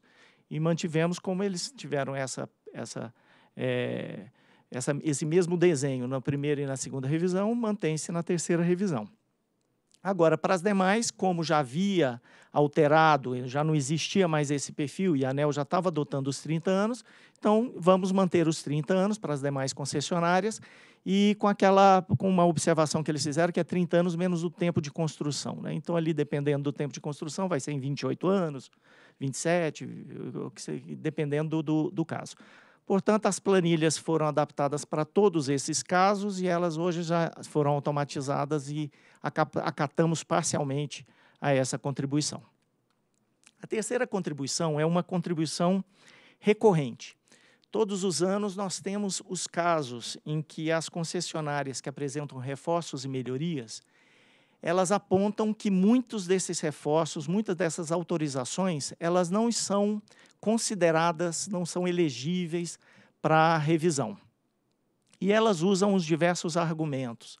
É, que aquela melhoria já tinha sido cadastrada ali no sistema de gerenciamento de planos e melhorias, que, aquilo, que aquela melhoria tinha sido é, um pedido é, e já cadastrado no planejamento, no PMI, no planejamento setorial, ou, ou eram decorrentes de atendimento de requisitos de procedimento lá do, do NS ou mesmo afirmam que estava escrito no ProRet que elas têm que apresentar essas melhorias para a ANEL e que a ANEL tem que analisar, confundindo que seria no processo de revisão, né, que, como se o processo de revisão fosse o fórum para análise dessa, da, da elegibilidade desses módulos. Bem, nesse caso, nós não acatamos. Esse é um assunto que é recorrente, nós tentamos até informar, eh, educar as, as, as concessionárias, mas é, eu acho que houve um passo agora há pouco tempo que, que talvez seja algo que esclareça melhor. Bem, além do submódulo 9.2 que orienta é, como classificar esses bens patrimoniais, repetimos que a SGT não compete é, analisar a elegibilidade desses bens, e sim apenas a coletar as informações que vêm do CIGET. Mas esse passo que eu acho que foi mais importante é que houve uma reuni na reunião pública ordinária do dia 17 de maio, agora um pedido, um, uma análise de um requerimento e de um, de um recurso, em que resultou esse despacho 1337 de 2022, em que a ANEL novamente ratifica a, o entendimento de que concessionários de transmissão licitadas não fazem jus a adicional de receita por melhorias de pequeno porte, executadas naquelas instalações que elas é, concedidas por meio de leilão. E, e a gente deixou, é, na, no sentido de, de deixar mais claro, a nota técnica no caso da SCT, que foi bastante esclarecedora nesses casos. Eu acho que é importante que as empresas é, analisem e, e, identifiquem e incorporem essa, essa, esse conhecimento que a gente tem repetido tantas vezes.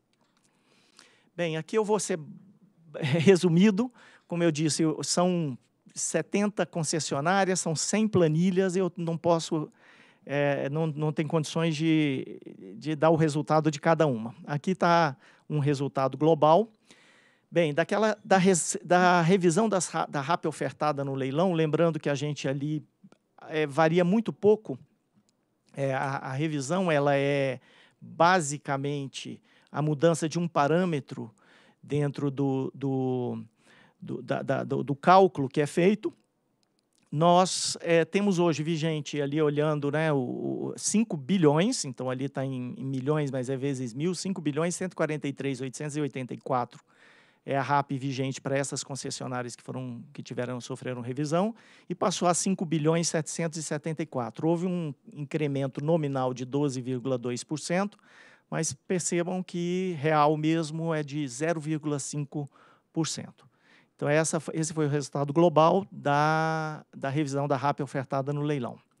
Quanto aos reforços e melhorias, esse sim a gente revalora os ativos, é um trabalho mais é, profundo, porque são centenas e às vezes até milhares de, de, de, de, reforços, de módulos de reforço e melhorias, em que precisam é, serem revalorados é, por, por, empresas é, avaliadoras e eles mandam esse, esses ativos revalorados e nós recalculamos como se fosse é, retroativamente, né?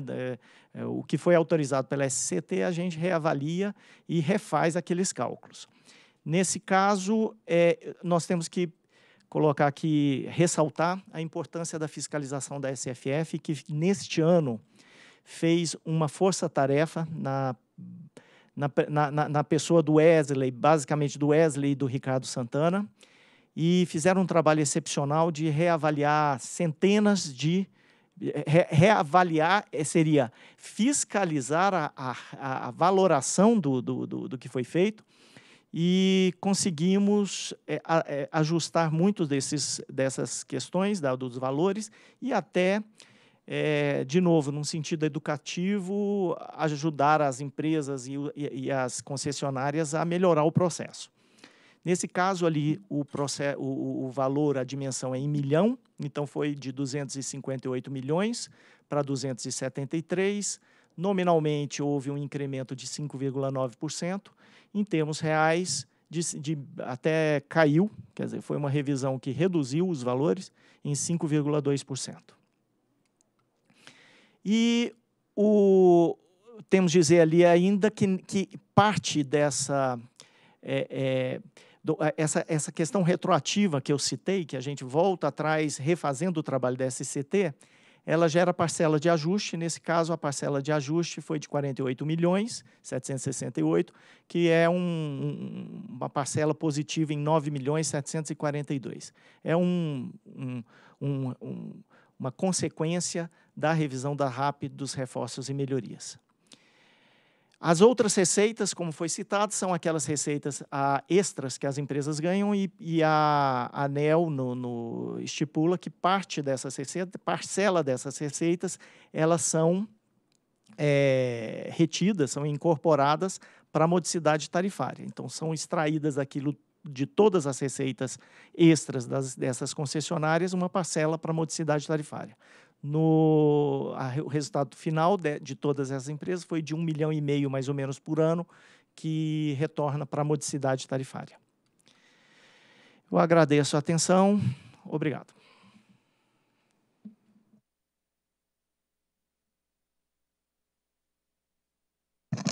Bem, claro que aqui, é, agradecendo aí o Serrato pela apresentação, que foi, é, como sempre, esclarecedora e didática. Se alguém não tinha entendido esse, esse assunto, não tenho dúvida que passou a entender agora.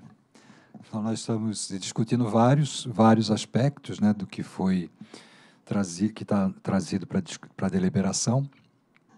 E um, um dos pontos, inclusive, já foi, já, já faz parte do, do, do, do, sub, do submódulo Vou pegar aqui qual é o submódulo. O 9.2 do ProRet, né, que é o item B daquela, daquele conjunto, né, que já foi é, deliberado é, na, em, em, maio, na verdade, em maio desse ano, né, e aí estou só confirmando aqui com o Denis e com o Serrato, que faz parte da resolução número 1022 da ANEL.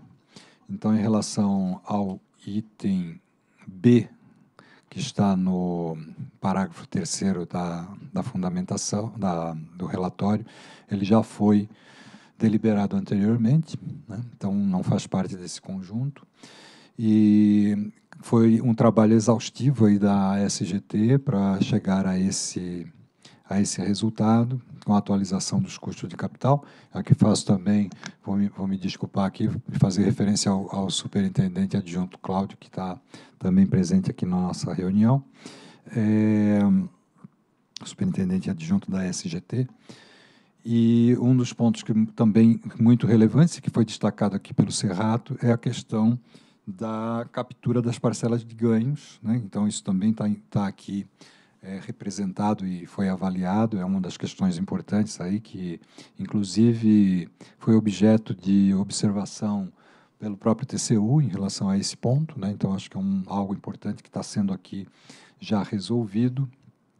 É, e um, uma questão que eu também considero aqui importante, que é, o, a, a, SGT, na sua avaliação, isso também está na fundamentação, é, ela confirmou o parâmetro lá do WOC, né, que acho que é também algo relevante, que foi divulgado no edital do leilão número 13 de 2015, e embora tenha sido calculado com uma equação distinta da estabelecida para a revisão da RAP dos contratos, como foi bem, é, os contratos de concessão, foi bem destacado aqui pelo, pelo Serrato, e ficou claro que as duas fórmulas elas chegam ao resultado ao mesmo as, ambas estão corretas e chegam praticamente ao mesmo resultado então a, é, é, e essa essa foi uma contribuição importante e que é, levou inclusive a uma investigação detalhada profunda daquilo que tinha sido é, considerado. Eu acho que foi uma contribuição da Abrat, se eu não estiver enganado, e a SGT chegou a essa conclusão, que nos deixa muito confortáveis para é, apresentar o, para a deliberação do colegiado essa proposta que foi estudada pela SGT e que eu é, encaminho aqui como como proposta de voto. Então, eu também, nesse caso, diretora Camila, eu vou dispensar a leitura da fundamentação pela qualidade do que foi apresentado tecnicamente pelo Serrato e cumprimentar na pessoa do Serrato, eu cumprimento toda a equipe da SGT. E aí, no caso, também a equipe da SRM, que também nos ajudou a, a chegar, a esse, a chegar nesse ponto. Então, vou passar diretamente ao dispositivo, diante do exposto do que consta no processo 48.500.000.715.2022.71, voto por emitir a resolução homologatória na forma da minuta em anexo, para fixar o reposicionamento da receita anual permitida, a RAP, para os contratos de concessão de transmissão de energia elétrica dos empreendimentos licitados, com revisão, revisão tarifária prevista para 2022. É o voto. Em discussão? Queria só parabenizar também o trabalho conjunto que foi feito pela SGT e a, e a SFF. Eu acho que foi um grande esforço, né? Wesley, o Ricardo, Tomazelli, Denis, Serrato, Malu, Cláudio, parabéns pelo trabalho. Essas oportunidades que a gente tem de, de, de, de, trabalhar em conjunto, né, de poder ajudar as áreas, é muito interessante. Quando você junta uma área de, né, de tarifa, de gestão de tarifa, ou uma área de regulação, trabalhando em conjunto com a área de fiscalização. E a gente faz essa, essa, essa troca né, de experiências e, e aí a, a, a gente consegue observar aonde a gente precisa melhorar, né, os, os aperfeiçoamentos, tanto do lado de, da regulação quanto do lado dos procedimentos de fiscalização. Então, acho bastante interessante quando a gente faz esse, esse trabalho em conjunto. Eu também, eu, eu, perdão, é, diretora Camila, eu não fiz a referência à SFF, mas eu quero aqui é, me redimir. E realmente é um trabalho conjunto SGT e SFF, mas também com a participação da SRM, como eu disse antes. É, e, e, também dizer, é, concordando com, com o que você coloca, é, diretora Camila, é, nas nossas pesquisas de clima organizacional, normalmente vem uma, uma, um ponto que é muito destacado, né, que é as áreas uh, não conhecerem o que as outras áreas, cada área não conhecer o que as outras fazem, né? E eu acho que são em momentos como esse, em desafios como esse, que nós conseguimos mostrar, né, para cada uma das áreas o que, que a outra está fazendo. Então, eu acho que esse trabalho conjunto ele é muito importante, inclusive para melhorar essa percepção que sempre vem no, nos, nas nossas pesquisas de clima. Só, só corroborando com esse assunto, não tem a ver com o processo aqui, É, o pouco que eu já comecei conversando na superintendência, a gente vê isso dentro da superintendência, às vezes. Processos que não, não interagem com outro processo. Por isso, assim, nesse ponto, eu acho que quando você tem uma, uma, uma, uma disposição matricial, que as áreas se comunicam, é, como bem disse a diretora Camila, é, todo mundo aprende. É uma soma, um lucro para todos os empregados e, e em consequência, para a agência. Assim, deixar os parabéns aqui a todas, todas as três superintendências que trabalharam no processo. Só para ficar claro que as superintendentes de fiscalização não têm atribuição apenas de avaliar o desempenho dos concessionários. Às vezes tem que fiscalizar para robustecer ou contribuir para processos de outros órgãos da ANEL. Então é importante ter isso em mente para não achar que eventualmente pode ser um trabalho desse mais relevante do que verificar algum desempenho, por exemplo, dizendo SFF, né? Mas fala também lá para eles SFL, onde o desempenho com relação ao atendimento comercial ou, ou a verificar, por exemplo, se os dados enviados para o SAMP estão corretos ou não, porque tem um impacto gigantesco. Então, essa avaliação tem que ser feita para otimizar o homem-hora de todo mundo, né? Excelente. mulher hora. Ele está só falando de homem hora, mas tem a mulher hora também. Mas é interessante, gostei, diretor. É, em votação. Eu voto com o relator. Eu também voto com o relator. Eu também voto com o relator, senhores diretores. Também voto com o relator e proclamo que a diretoria, por unanimidade, decidiu fixar o reposicionamento da receita anual permitida à RAP para os contratos de concessão de transmissão de energia elétrica dos empreendimentos licitados, com revisão tarifária prevista para 2022. Próximo item. Item 8, processo 48500 000441 de 2022 11.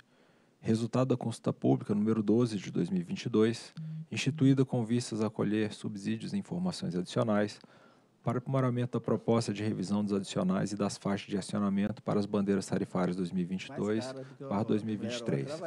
Diretor relator Efraim Pereira da Cruz. Bom, o diretor Efraim pediu só para ler o voto aqui, então vamos tentar fazer aqui os melhores esforços. Em 28 de junho de 21, por meio da medida provisória MP número 1055, a Câmara de Regras Excepcionais para a Gestão Hidroenergética, CREG, foi criada como forma de atuar no enfrentamento da crise hidroenergética, iniciada em meados do ano de 21. A resolução homologatória número 2888, de 29 de junho de 21, estabeleceu as faixas de acionamento e os adicionais das bandeiras tarifárias de que trata o submódulo 6.8 do procedimento de regulação tarifária ProRed com vigência a partir de 1 de julho de 21. Em 31 de agosto de 21, a CREG emitiu resolução número 3 de 21, determinando a ANEL a implementação de patamar específico de bandeira tarifária, denominado bandeira escassez hídrica, no valor de R$ 142,00 o megawatt-hora. Segundo o dispositivo, a bandeira escassez hídrica deveria vigorar entre setembro de 21 a abril de 22, não atingindo aos consumidores inscritos na tarifa social de energia elétrica. Para esse último agrupamento, aplicou-se o disposto na homologatória 28, 2888 de 21. A resolução normativa número 1003 de 22 aprovou a versão 1.9c vigente do submódulo 6.8 do PRORET em 11 de abril de 22, NT número 45, da, emitida pela SRG, SGT SRM, foi emitida apresentando proposta para discussão da atualização das faixas de acionamento e de seus valores correspondentes para as bandeiras tarifárias no ciclo 22-23. Por deliberação colegiada da diretoria da ANEL, em 12 de abril de 22, foi aberta a consulta pública número 12 de 22 para recebimento de contribuições quanto ao tema, entre os dias 14 de abril e 4 de maio de 22. Em 20 de junho de 2022, a Superintendência de Regulação do Serviço de Geração SRG, a Superintendência de Gestão Tarifária SGT e a Superintendência de Regulação Econômica e Estudos do Mercado SRM emitiram a nota técnica 63 de 22, em que avaliaram as contribuições recebidas, concluindo por recomendar à diretoria da agência que encerra a consulta pública 12 de 22, atualizando as faixas de acionamento e os valores para o mecanismo das bandeiras tarifárias, é o que basta relatar o diretor Efraim. Procuradoria. Senhores diretores, a Procuradoria se manifesta pela aprovação dos novos patamares para as bandeiras tarifárias. Bom, foram recebidas contribuições de 28 pessoas físicas e jurídicas. Está aqui relatado, não vou ficar mencionando aqui um a um. Ah, então, desculpa, perfeito. Ah, não, então, perfeito. Tá. O secretário-geral está informando que tem uma apresentação técnica, né? Então, peço que então seja realizada.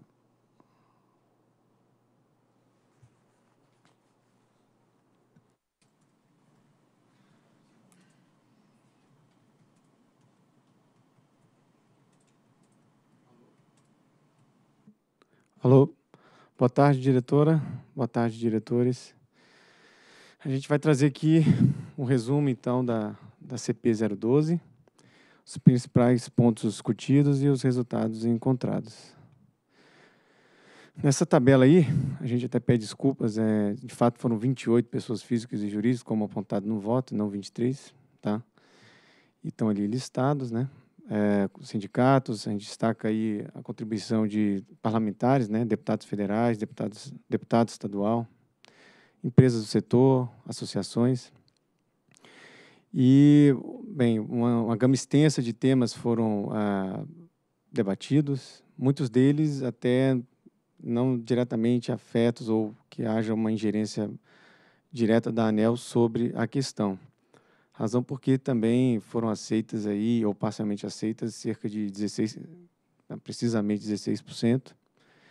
É, o total de contribuições não aceitas é, gerou uma estatística de 79% e alguns temas, na casa de 7%, não, não se aplicaram. Mas a gama de temas aqui é, é extensa, né? É, medidas para redução tarifária, questões envolvendo o acionamento de termoelétricas, insatisfações, muitas vezes algumas incompreensões entre a operação do sistema, o sistema interligado, a realidade com a realidade regional de cada estado, de cada local, a, e, a, a bandeira também bastante acoplada a essa dimensão sistêmica e questões é, arrecadatórias, a pressão na, na tarifa como um todo. E razão porque, enfim, muitos desses temas aí todos foram ah, debatidos na nota técnica, a maior parte deles não podendo ser acatado, mas o total aí 16% foram importantes para aprimorar a proposta que a gente vai trazer daqui a pouco. E nessa gama grande de temas, a gente traz basicamente só dois que a gente reporta como ah, importantes e que eventualmente mereçam um aprofundamento nos próximos ciclos, embora não tenham sido acatados neste momento. E aí as razões são, é, são estas que a gente vai comentar agora. O primeiro a questão, isso até motivado pelo ano anterior, o ano de 2021, a, a crise de escassez hídrica, né?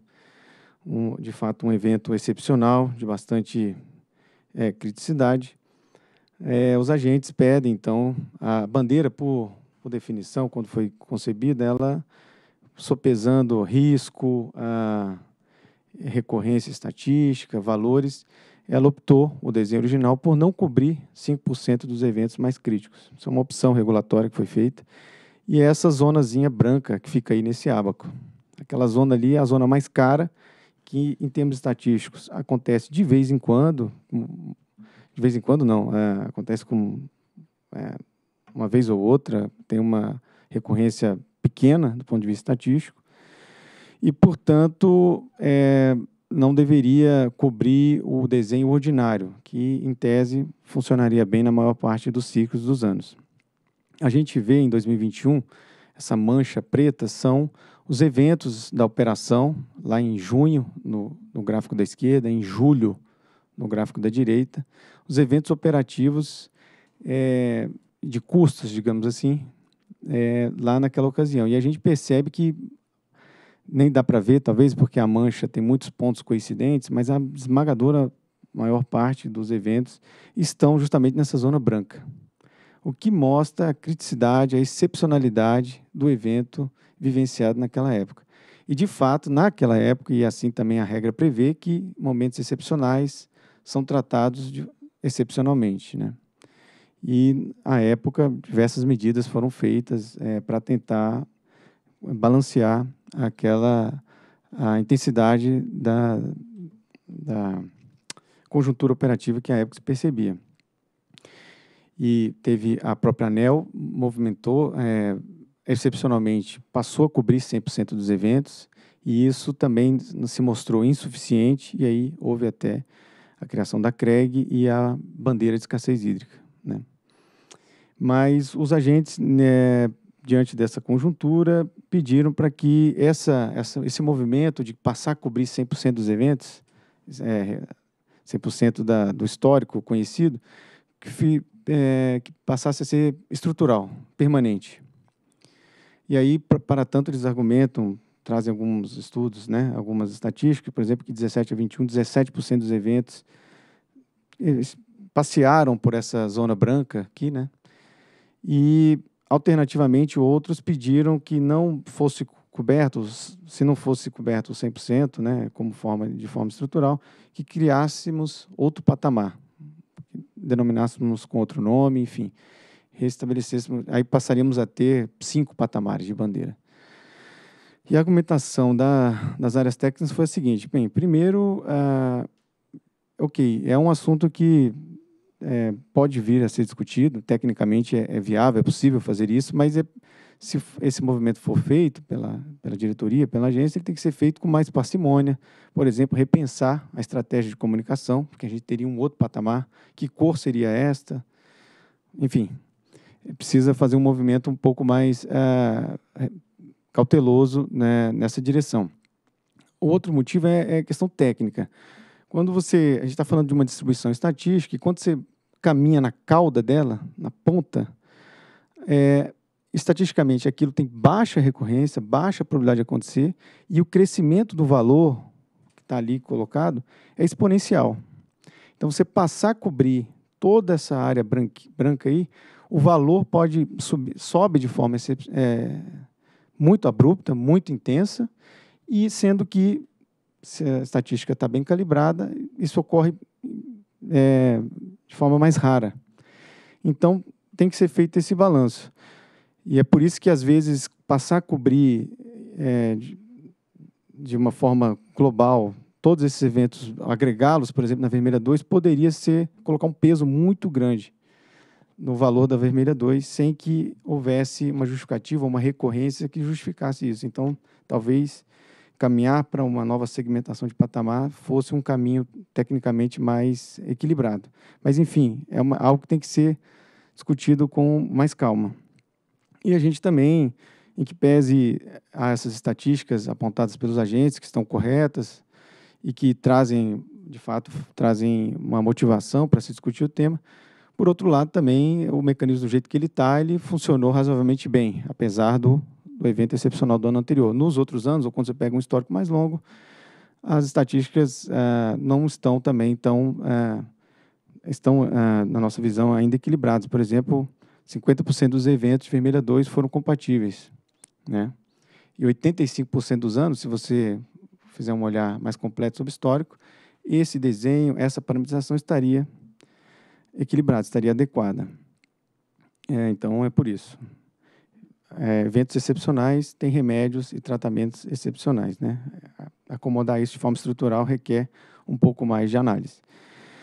E aí a gente traz também aqui uma foto ali, esse abacozinho da direita, né, no, lado áreas técnicas, para mostrar que esse é a foto de agora, muito recente, com dados preliminares do INS, mostrando como é que está a perspectiva para julho da bandeira. Né? E a gente percebe lá que, primeiro, os pontos estão muito mais concentrados e estão todos é, dentro da faixa verde. Então, isso é um exemplo de, é, ilustrativo de que a gente está vivendo outra realidade este ano, para o mesmo mês, inclusive. E os dados de reservatório, uma foto ali no fim de maio, a mesma previsão feita, mostra que os números, né, armazenamento do Sudeste, do Sul, estão todos é, expressivamente mais altos. Né? Hoje o sistema está é, com Nordeste, Sul e Norte, todos acima de 95%, salvo engano, e o Sudeste ali na casa de 66%. Então é uma situação muito mais confortável, o que afasta, é, em tese, é o que tudo indica, uma gravidade, uma semelhança com o que se vivenciou em 21, o que também corrobora e dá tempo para eventualmente pensar isso em, mais para frente, em, com, mais, com mais cuidado, com mais debate. E o segundo ponto que a gente traz de todo aquele rol discutido é que tem a ver com o primeiro, é que na medida em que pedem para que a bandeira passe a cobrir eventos mais excepcionais, que também inclua de forma explícita e direta o encargo de serviço de sistema, né? até para é, no acionamento e na arrecadação. E aí, para isso, várias sugestões apareceram, equações, é, desenhos, né? E, de fato, aí eles argumentam, e é verdade, o SS, sobretudo no ano passado, teve uma fortíssima participação nos custos. E isso pode, de alguma forma, ao não considerá-lo explicitamente, no ano passado isso ficou evidenciado, o sinal de preço teve suas, lá suas dificuldades e a bandeira mostrou déficits, né? como está também colocado ali no gráfico da direita. Só que aí, é, um contraponto para isso, né? de novo, reconhecendo que é algo que tem mérito, que pode ser debatido, mas que também deveria ser feito com, com mais cuidado, com mais cautela, com mais estudos, é, e para isso a gente teria mais tempo, como foi mostrado na lâmina anterior, e, e, e também é, algumas medidas que ajudam nessa linha, principalmente do encargo, que é a formação do PLD. Né? A CEPAMP aprovou algumas medidas este ano, que vão passar a valer em janeiro, que vão, é, aumentou, ajustou melhor a versão a risco que está no modelo, vai aplicar um modelo de geração de cenários hidrológicos mais esperto, que enxerga e, e, e consegue prever e manter uma conjuntura vivenciada de, de mais longo prazo consegue reproduzir isso nos cenários é, futuros. Então, isso tende a melhorar o, o, sinal de preço, que é super importante aqui para o acionamento e para o mecanismo das bandeiras tarifárias. E isso, somado com a, uma, uma, conjuntura mais confortável, faz com que haja tempo e, e que essa, essas, essas medidas não sejam tão prementes. E, por outro lado, e isso não, nem constou da abertura da, da consulta pública, é, a gente vê como premente a revisão das bandeiras, né, por conta da, do acúmulo da inflação, é, da pressão que há hoje na, na, na, operação, na questão dos combustíveis. Isso tudo já faz parte da, da operação do sistema hoje e é, é importante que a, essa revisão das bandeiras também recepcione isso com essa revisão que é feita anualmente. É, e a gente também destaca que, embora o mecanismo hoje não tenha um desenho explícito para capturar o ESS, ele tem um remédio implícito, tá? indireto. Eu não vou entrar em detalhes aqui, ele existe e em situações não tão extremas ele traz uma resposta e mitiga e ajuda é, no, no, na arrecadação, né, no equilíbrio da conta, sobretudo quando há a, a produção, a, a existência de, de encargo de serviço de sistema. Tá? Então, esses foram os de, um, debates que a gente achou importante trazer aqui e tentei resumir mais ou menos a argumentação que está na nota técnica das áreas, para, neste momento, não recepcioná-los, mesmo é, em que pese reconhecendo como relevantes. E nessa lâmina aqui a gente traz o que foi recepcionado, e aí foram ajustes né, na, na na memória de cálculo, que foi integralmente disponibilizada, e aí importante essa contribuição dos agentes, que encontraram esses cinco imperfeições lá no, no cálculo original. A potência da, da termoelétrica Luiz Carlos Rodrigues Melo estava equivocada. Uma parametrização do bloco de geração de energia de reserva idem. Também um fator de rateio do portfólio do PCS, que estava com duplicidade lá pessoal entra fundo nos cálculos e descobre é, na vírgula lá algumas questões, o que é super relevante. O valor do PLD máximo também estava ligeiramente inferior ao que foi depois fixado pela agência. E uma questão mais discricionária de atualizar os CVUs da, do Parque Termoelétrico, que a gente também acatou. Trazer uma visão mais recente, de maio, a gente estava com uma visão de janeiro, a gente trouxe os CVUs ali do, do o ONS utilizou em maio. Tá? E em relação ao PCS, é, na abertura o valor era de 511, porque a época tinha a perspectiva da fiscalização eram quatro usinas, salvo engano, que é, tinha uma perspectiva de não entrarem, agora restou apenas uma, né? A foto de hoje indica isso. E aí, ao então atualizar essa questão, o valor de referência subiu de 511 para 500 de quase 581. Então, com isso tudo, está aqui nessa tabelinha o antes e depois da consulta pública. Na primeira linha, ali estão os valores que foram colocados em consulta, 29, 29 e pouco para amarela, 62 vermelha 1 e 93 vermelha 2, e agora também mudando levemente, né? A diferença está aí em reais por megawatt-hora, 62 centavos a mais na amarela, 2,63 na vermelha 1 e 4,65 na vermelha 2. E a gente também destaca ali uma proxy da, da cobertura tarifária, né? ela de fato ela é feita pela SGT em cada processo, aqui é uma estimativa mais global, indicando ali um valor de pouco mais de 100 reais megawatt-hora para cobertura. E essas diferenças aqui basicamente são daquela, aqueles apontamentos de cálculo né, que os agentes indicaram, mais a questão do PCS, que essa foi feita de ofício. Né? Foi uma atualização com a visão da fiscalização da agência.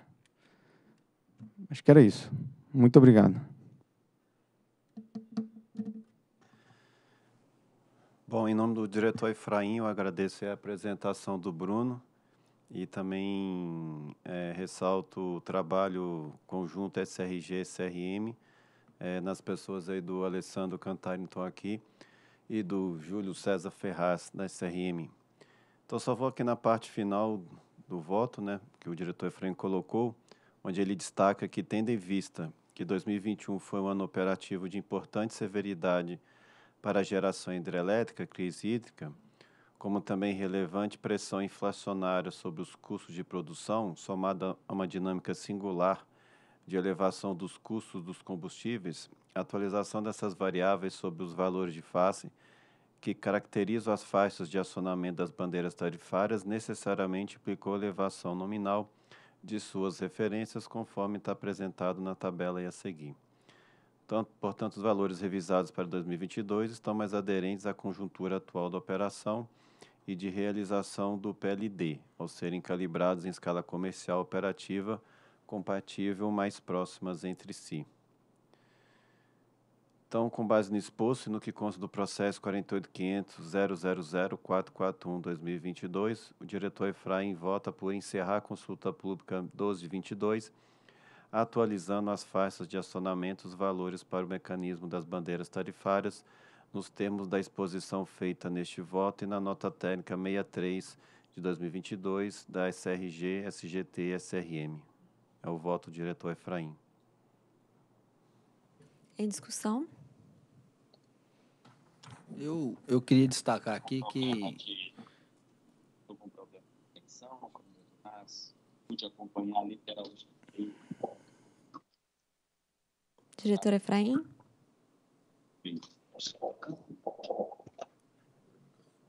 Não estamos lhe ouvindo direito. Caiu? Então, sim, enquanto o doutor Efraim não volta, eu queria destacar que é, aqui que trata apenas de uma, de uma revisão ordinária da, da, da bandeira. É, como o Bruno destacou, acho que, que as, há um anseio do, do setor elétrico para uma, uma, revisão mais profunda no, na metodologia da bandeira, que foi só aplicada um reajuste de cálculo. Eu acho que nós, nós aqui da agência poderíamos aproveitar esse ano de chamar de calmaria de, de hidrolo, hidrológica para pensar em trabalhar nessa revisão, porque quando você está em ano de, de escassez, sempre é muito mais difícil. Quando você está na bandeira verde, é, é mais fácil da gente trabalhar uma metodologia que possa assim é, encampar os encargos, que possam ser ter uma melhor visão do, do, do, do preço, como diz, o, como bem apresentou o Bruno. Então, assim, eu queria deixar essa contribuição. Eu acho que também cabe a gente toda, a gente que é da, da agência, a, a todo momento que falar sobre bandeira, é, insistir que bandeira não aumenta o custo total da energia no ano do consumidor. Que é, é, é uma percepção errada que o consumidor tem, e a gente entende porque é difícil de, de, de, de percepção isso, mas a gente tem que bater nessa tecla e sempre, mesmo reajustando aqui, não aumenta o custo da tarifa do consumidor. Ela está sendo, no final do ano, ela vai ser compensada pelo que você pagou durante o ano. na verdade, diminui. Se você fizer uma operação financeira, diminui o custo que o consumidor paga durante o ano. Era isso que eu tinha para discutir. Eu, queria fazer só uma, uma observação em relação à apresentação do, do Bruno. Ele está aqui a, atrás do. eu não consigo vê-lo, mas. É, eu, eu, acho que ele tem absoluta razão quando ele fala que nós precisamos mudar nossa estratégia de comunicação. De alguma forma, vai ao encontro do que disse o, o diretor Ricardo. Né? Eu acho que você mencionou isso, porque nós estamos diante de um assunto complexo, né?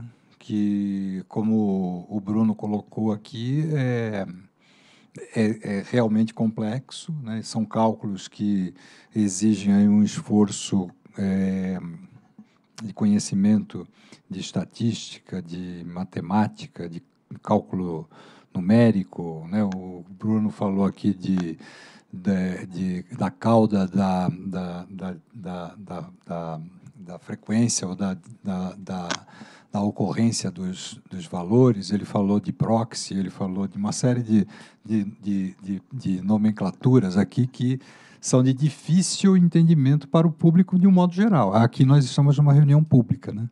Então, é, eu acho que a nossa estratégia de comunicação ela precisa melhorar.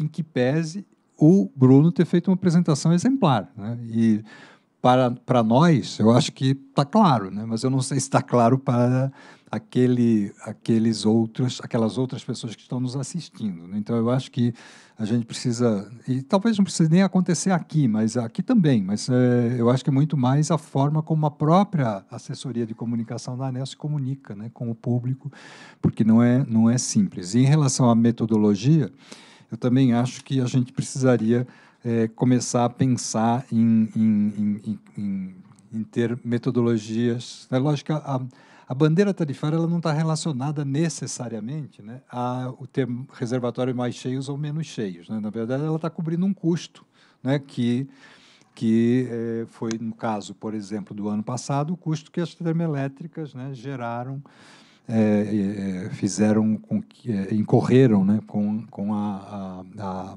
o problema da escassez hídrica. Mas algumas vezes a gente tem uma visão equivocada, né? porque a gente olha e fala assim, ah, bom, espera lá, está nós passamos da bandeira verde para amarela, por hipótese, né? É, no momento que os reservatórios estão todos cheios, né? mas não é, ela, ela até cobre custos do passado, inclusive, né? Então a gente tem aí uma, uma, uma série de, de, de pontos que precisam ser bem, bem observados e calibrados. Eu acho que a, algumas vezes, a, vou, vou dar um exemplo do, do que ocorreu no ano passado, quando durante a pandemia nós tínhamos bandeira verde, ficou estabelecido que a bandeira verde seria até o final de, de até dezembro do ano é, do ano de 2021, né? 2021 seria até dezembro de 21, 21, né? Então aí quando nós é, agora estou na dúvida foi 20 ou 21, mas eu acho que era 21 é, a pandemia começou em março de 20, talvez seja 2020, até dezembro de 20, mas quando chegou lá em setembro ou agosto, se eu não me engano, nós percebemos que tinha que mudar a bandeira para o nível, para o, o último patamar, vermelha 2, porque já começava a apontar que teríamos problemas de, de escassez hídrica, né? como de fato se, se, se mostrou como, como real. É, e isso aconteceu em, em março, de, em, se eu não me engano, foi em setembro. Nós mudamos a bandeira para a vermelha 2. E um, um, pouco tempo depois, talvez dois meses depois, nós é, reduzimos para a bandeira amarela, né? E aquilo gerou um mal-estar muito grande, né? porque a percepção geral é de que a bandeira está relacionada a ter mais ou menos água nos reservatórios, que não é bem isso, mas precisa ser bem explicado. Né? Então, eu, eu lembro que até no CMSE, para quem estava, e o Alessandro acredito que já estivesse lá no CMSE, o, o Júlio também estava acompanhando essa discussão, o próprio ministro chegou a se manifestar, o ministro Bento, falou assim, espera lá, nós nós fomos até o presidente da República para falar que a bandeira teria que ser alterada, embora tivesse a disposição de mantê-la verde até o dezembro, mas eh, nós convencemos e mostramos né, para o presidente da República que ela ser, teria que ser vermelha 2, patamar 2. É, e talvez dois meses depois nós mudamos a bandeira para amarela. Aí fica aquela, aquela, aquela situação assim que não, a gente não consegue explicar é, de forma clara o que, que é de fato a bandeira. Então, eu acho que a gente precisa ter um, um procedimento mais, mais efetivo de, de, de esclarecimento. E é, eu gostei muito do que disse o, o, o Bruno também em relação a, a nós termos uma, um outro patamar de bandeira. Né? Porque se nós continuarmos assim, daqui a pouco a gente vai ter a bandeira roxa, depois a preta, e, né? e, e, e de fato, eu acho que nós não podemos, na minha percepção, acho que a gente não pode ficar é, estabelecendo outros patamares. Eu acho que a bandeira vermelha 2, que já foi uma criação posterior, né, ela já tem, é, já tem, como foi mostrado aqui, né, a gente já tem uma, uma já dá uma, uma percepção clara do que, que nós é, precisamos fazer com a bandeira. E também a questão que se levantou aqui do, da CEPAMP, que fez ajustes que é, permitem a, a, melhoria do sinal de preço. Né? Então, eu acho que isso também é outra evolução e a gente tem que, tem que trabalhar para essas evoluções. Então, eu acho que é, é em que pese, eu teria entendido, não vou dizer que é 100%, mas eu entendi grande parte do que o Bruno colocou, mas eu tenho certeza que se nós fizermos uma, fizéssemos uma pesquisa de opinião, eu acho que uma boa parte não teria entendido muita coisa. Tá? Então, eu acho que é só uma questão, assim, uma, até uma sugestão para que a, a, área de comunicação da ANEL, em que pese também ter o esforço da área para fazer isso, né? mas talvez precise melhorar ainda um pouco mais. Só, só queria contribuir com, com o doutor Elvio aqui. Ano passado, não, é começo desse ano, nós, é, é, o que ouvi muito também foi na questão de comunicação, é, a bandeira se manter vermelha até abril, até abril, acho que foi até abril. E todo mundo estava tendo a percepção que estava chovendo muito. De, de fato, estava chovendo muito. Mas é, a percepção do público, em geral, não é a mesma do, do técnico. Nós precisamos melhorar a comunicação. É, é essa é, é um, um, fato, um fato importante. É, eu, eu, aproveito essa, essa, essa observação do Ricardo para mencionar aqui o, a, a, nossa bandeira extraordinária, né, que aí foi criada uma outra bandeira, né, que foi a bandeira escassez hídrica, e é, Minas Gerais, em alguns estados brasileiros, estavam literalmente debaixo d'água. E nós estávamos cobrando uma bandeira escassez hídrica. Então, a, a, pergunta de quem paga a conta, fala assim, como assim? Que, que escassez hídrica é essa? Né? Que eu estou abrindo minha janela e vendo as ruas todas inundadas. Né? Então, acho que é, é, essa forma de, de mostrar o que o está sendo feito, acho que é, é realmente muito importante. É, eu também gostaria de parabenizar o Bruno pela apresentação. Eu sei que do esforço é, de longa data que, que as áreas têm de, de, de, de tentar fazer a comunicação da bandeira, né, trazer de forma mais simples, né, é, apesar de toda a complexidade que está por trás dela, mas sem dúvida a gente tem que avançar bastante e, é, e a gente tem um potencial de comunicação muito grande nas bandeiras, né? É, a gente inclusive já fez até trabalhos no, na, com a INAP, né, no, com o pessoal de, de inovação da INAP, é, para tentar melhorar essa, essa, essa comunicação da bandeira, porque ela tem vários aspectos. Tem o aspecto de, é, de sinalizar o preço para o consumidor, para ele ter consciência na hora de, de tomar sua decisão de consumo, né?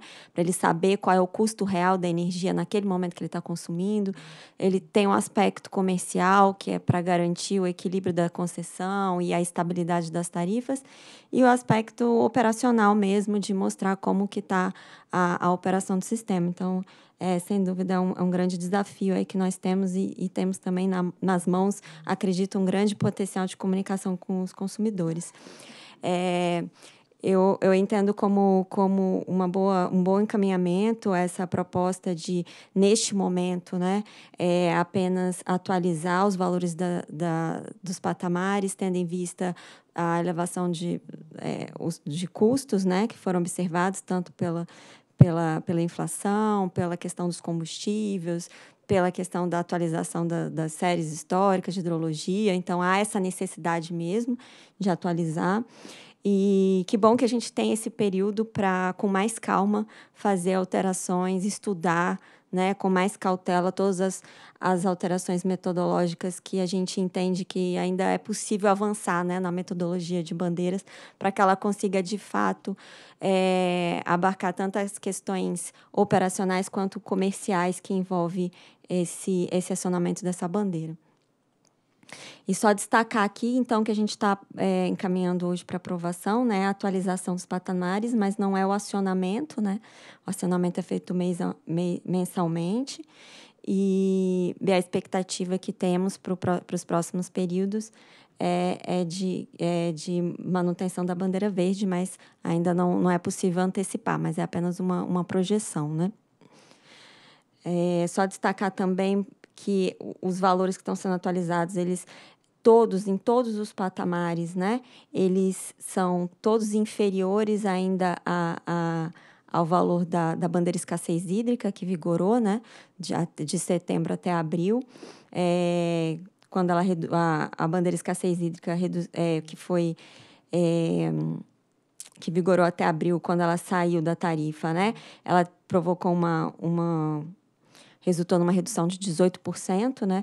E todos esses esses atualizações de valores, nenhum deles chega a esse patamar da bandeira escassez hídrica. Então, isso ainda é, é bastante importante destacar, né? Mesmo com a atualização de custos, em nenhum patamar a gente vai chegar é, ao valor da bandeira escassez hídrica. Isso que é importante aí para para a modicidade tarifária desse ano. Vamos, podemos passar agora para a fase de votação. É, sei, o Efraim ainda caiu de novo, né? Terei que o voto dele, eu acho que está no dispositivo. Eu voto com o relator. É, eu também voto com o relator. Eu acompanho o voto do relator. Também acompanho o voto do relator e proclamo que a diretoria, por unanimidade, decidiu encerrar a consulta pública número 12 de 2022, atualizando as faixas de acionamento e os valores para o mecanismo das bandeiras tarifárias, nos termos da exposição feita no voto do diretor relator e da nota técnica número 63 de 2022 da SRG, SGT e SRM da ANEL. Próximo item. Item 9, processo 48500 1056, 2020-29. Metodologia provisória para o cálculo dos, mon dos montantes de constraint off de centrais geradoras fotovoltaicas, UFVs, nos contratos regulados. Diretor-relator, Elvio Neves Guerra.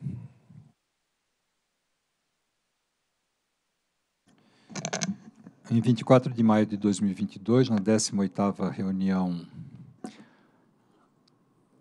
pública ordinária, eh, encaminhei para a decisão do colegiado da ANEL voto de vistas, que tratou dos requerimentos administrativos que solicitavam o reconhecimento das situações de restrição de operação por Kostranoff de centrais geradoras fotovoltaicas. Na oportunidade, a diretoria da ANEL decidiu pela emissão de despacho, do despacho número 1407, de 24 de maio de 2022, que conheceu dos requerimentos administrativos para reconhecimento das situações de restrição de operação por Kostranoff nas usinas fotovoltaicas protocoladas na ANEL e, no mérito, dar parcial provimento no sentido de reconhecer o direito dos montantes de Kostranoff para restrição elétrica exclusivamente no ambiente de contratação regulada, o ACR, os quais não poderão superar o montante mínimo para tornar nulo o ressarcimento previsto nos contratos determinou a Superintendência de Regulação dos Serviços de Geração, SRG,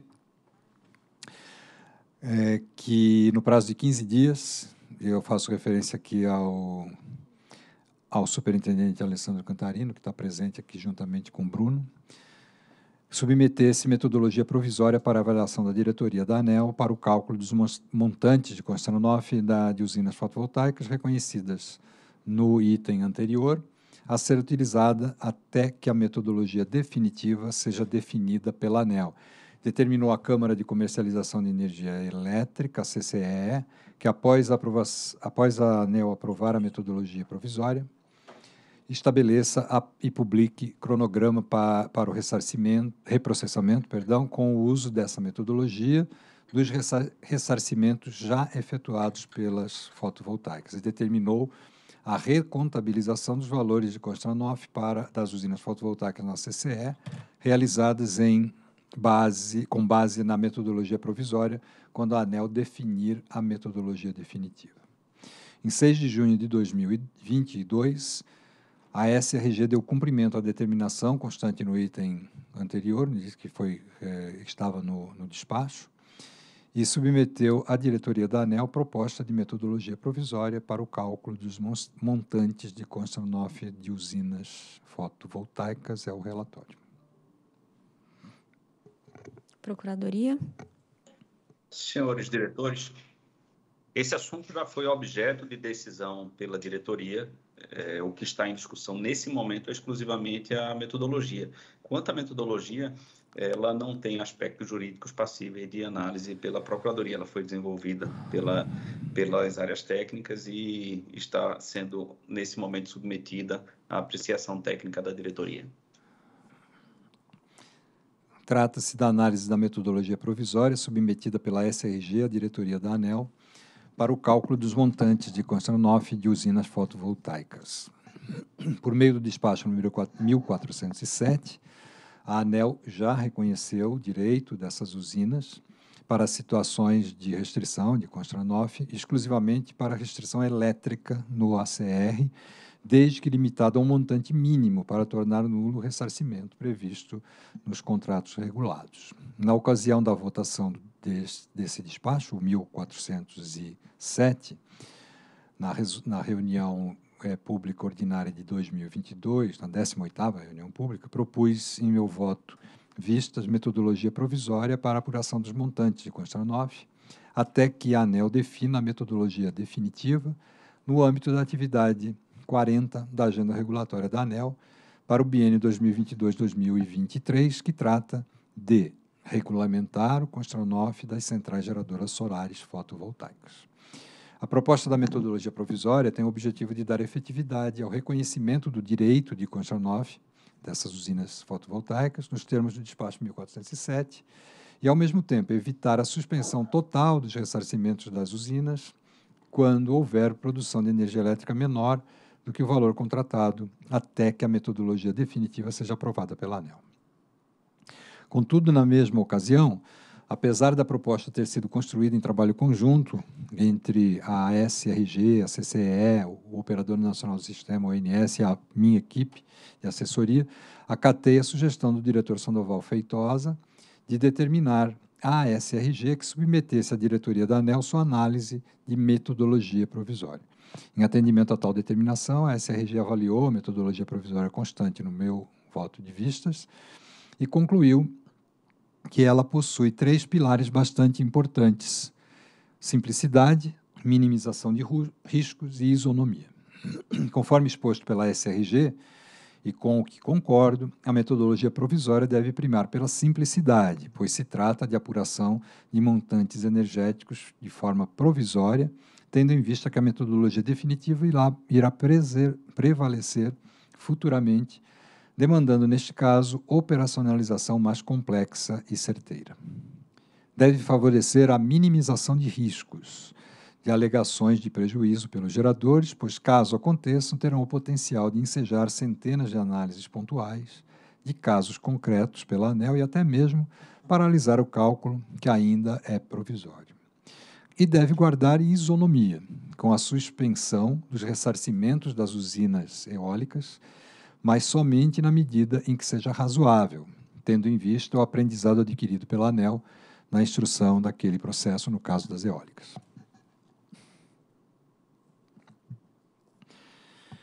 Desta forma, entendeu a SRG que a metodologia provisória é submetida à diretoria da ANEL, no meu voto de vistas da 18ª reunião pública ordinária de 22, é adequada para ser empregada no cálculo de Konstranoff de usinas fotovoltaicas. De forma resumida, essa metodologia consiste em utilizar a potência instalada da UFV, proporcional ao montante de garantia física negociada no ACR, multiplicada pelo período da restrição, subtraída de eventual geração da UFV no período conforme está nesse quadro que também está no voto. Eu registro que, conforme decisão constante no despacho 1407, a metodologia provisória será aplicada exclusivamente para as UFVs com contratos regulados, CCARs e CERs, na proporção da energia elétrica comercializada no contrato regulado para as situações de Konstantinov por restrição elétrica, razões, ou seja, razões de indisponibilidade externa e de atendimento a requisitos de confiabilidade elétrica, conforme definições contidas no artigo 2 da Resolução 927 de 21, até o montante para tornar nulo o montante de ressarcimento até o valor, para tornar nulo o montante de ressarcimento previsto nos contratos. Adicionalmente, após a ANEL esclarecer, estabelecer a metodologia definitiva, a CCE deverá reprocessar os cálculos realizados com a metodologia provisória com o uso da metodologia definitiva. Também nos debates na, durante a 18ª reunião pública, de 22, quando das discussões sobre a metodologia provisória, foi aventada a possibilidade de se utilizar o fator de capacidade das UFVs, considerando as diferentes localidades em que elas estão instaladas, como parte desse método. A SRG, em sua análise, analisa, em sua análise abordou é, bem esse tema e mostrou que a, o uso do fator de carga fere o princípio da simplicidade da metodologia, pois não é um parâmetro intrínseco ao fluxo de informações na CCE, na contabilização da energia, e é inadequado na minimização de riscos de questionamentos e de eventuais pedidos de recontabilização pelas UFVs. E, de fato, o, F, o fator de carga ele é um valor médio de geração de um conjunto de usinas localizadas em determinada região mostra que a SRG mostra que a hipótese de o FV ter uma geração restringida, Konstantinov, em um cenário de máxima produção energética, máxima irradiação solar, no caso, a utilização do fator de carga fará o montante de Konstantinov a ser reconhecido pela ANEL seja inferior ao necessário. Tal fato, além de trazer novos questionamentos das UFVs, fazendo com que a ANEL tenha que reprocessar esses eventos de forma individual, mesmo tendo mesmo tendo ah, perdão, perdi aqui o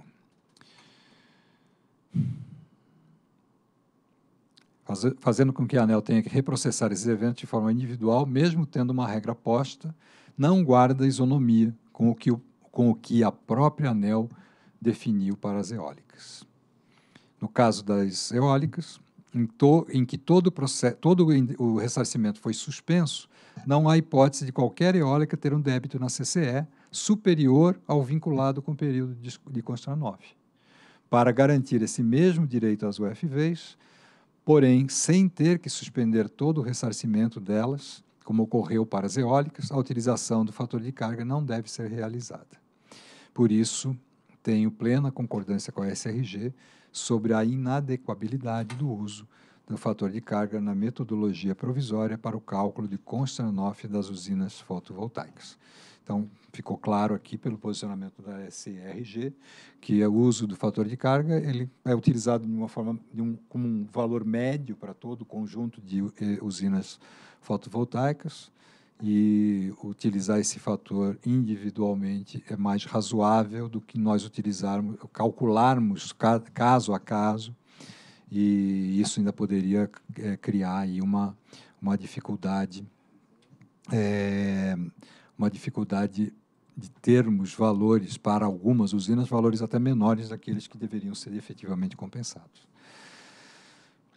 É, feito essa fundamentação, passo ao dispositivo, diante do exposto o que consta no processo, do processo número 48.500.001056-2020-29, voto por definir como metodologia provisória para o cálculo de Konstranoff, constante do despacho 1407, de 24 de maio de 2022, a utilização da potência instalada da central geradora fotovoltaica, proporcional ao montante de garantia física negociada no ambiente de contratação regulada, multiplicada pelo período de restrição subtraída de eventual geração da usina no período. É o voto.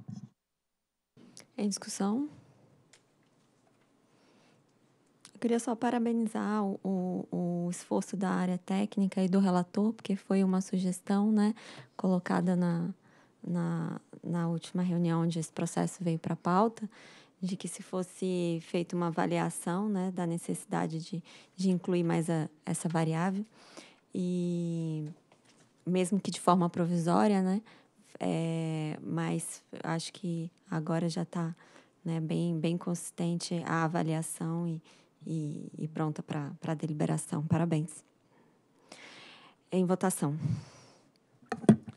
Eu voto com o relator.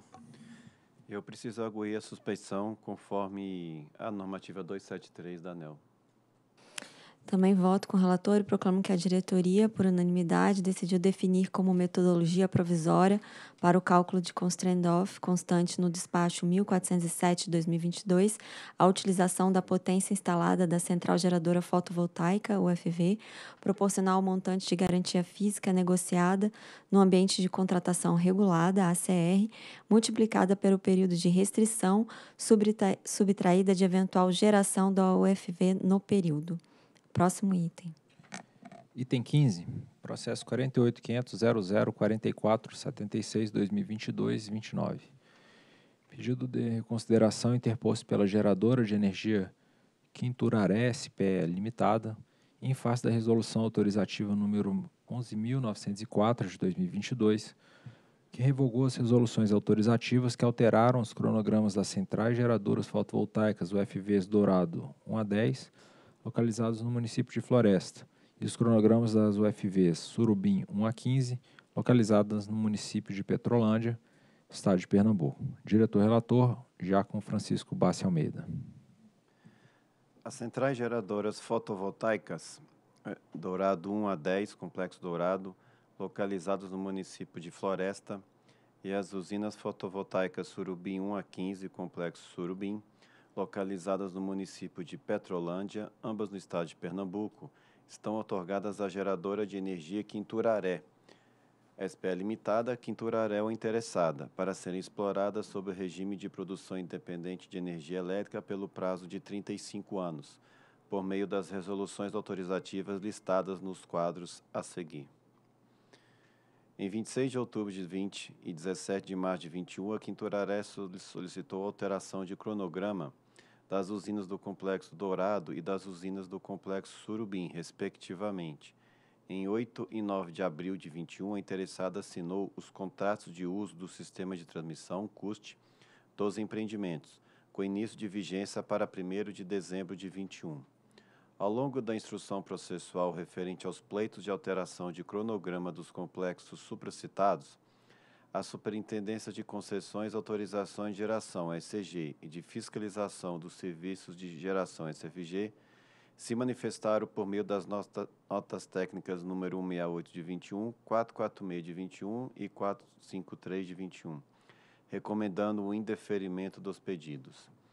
Em virtude das recomendações de indeferimento dos pleitos pelas áreas técnicas e de dificuldades apresentadas na implantação dos empreendimentos, em 3 de janeiro de 22, a Quinturaré reapresentou seu pedido de alteração de cronograma, condicionando-o à cessão da integralidade das cotas da Quinturaré para uma empresa do grupo Ludoil OSM Investimentos Limitada, Grupo Ludoil, que assumiria os outorgas, a implantação dos empreendimentos e os compromissos firmados com a assinatura dos custos.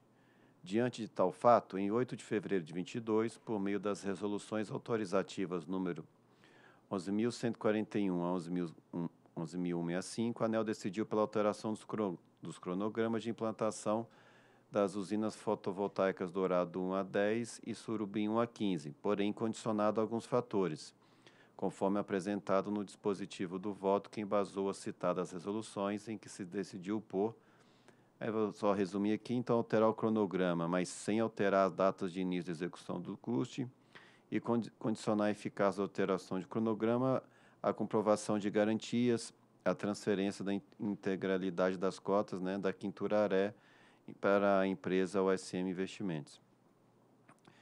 E também, na ausência ou insuficiência de atendimento dessas obrigações listadas no item 2, determinar a SFG que instaure processo administrativo com vistas à revogação das outorgas dessas usinas, outorgas de autorização dessas usinas. Em 26 de abril de 22, em razão de constatada inadimplência pela Quinturaré com relação ao pagamento dos encargos de uso do sistema de transmissão e a apresentação de garantias financeiras, o ANS notificou a empresa, informando-a que os custos das usinas serão considerados suspensos a partir de 1 de abril de 22, podendo eles serem rescindidos após a data de 30 de abril de 22, caso neste prazo não fossem apresentados instrumentos de garantia em montantes aptos a suprir, a, suprir a integralidade dos pagamentos dos EUST não realizados até aquela data. Em 28 de abril de 22, a Quinturaré apresentou o pedido de medida cautelar com o objetivo de concessão de efeito suspensivo para que o INS não rescindisse os custos dos empreendimentos em tela. Em 3 de maio de 22, consultado pela ANEL, o INS confirmou que os custos dos empreendimentos dos complexos Dourado e Surubim foram suspensos durante o mês de abril, tendo sido rescindidos em 1 de maio de 22, notificando formalmente a empresa acerca da rescisão do custe, dos custos em 9 de maio de 22.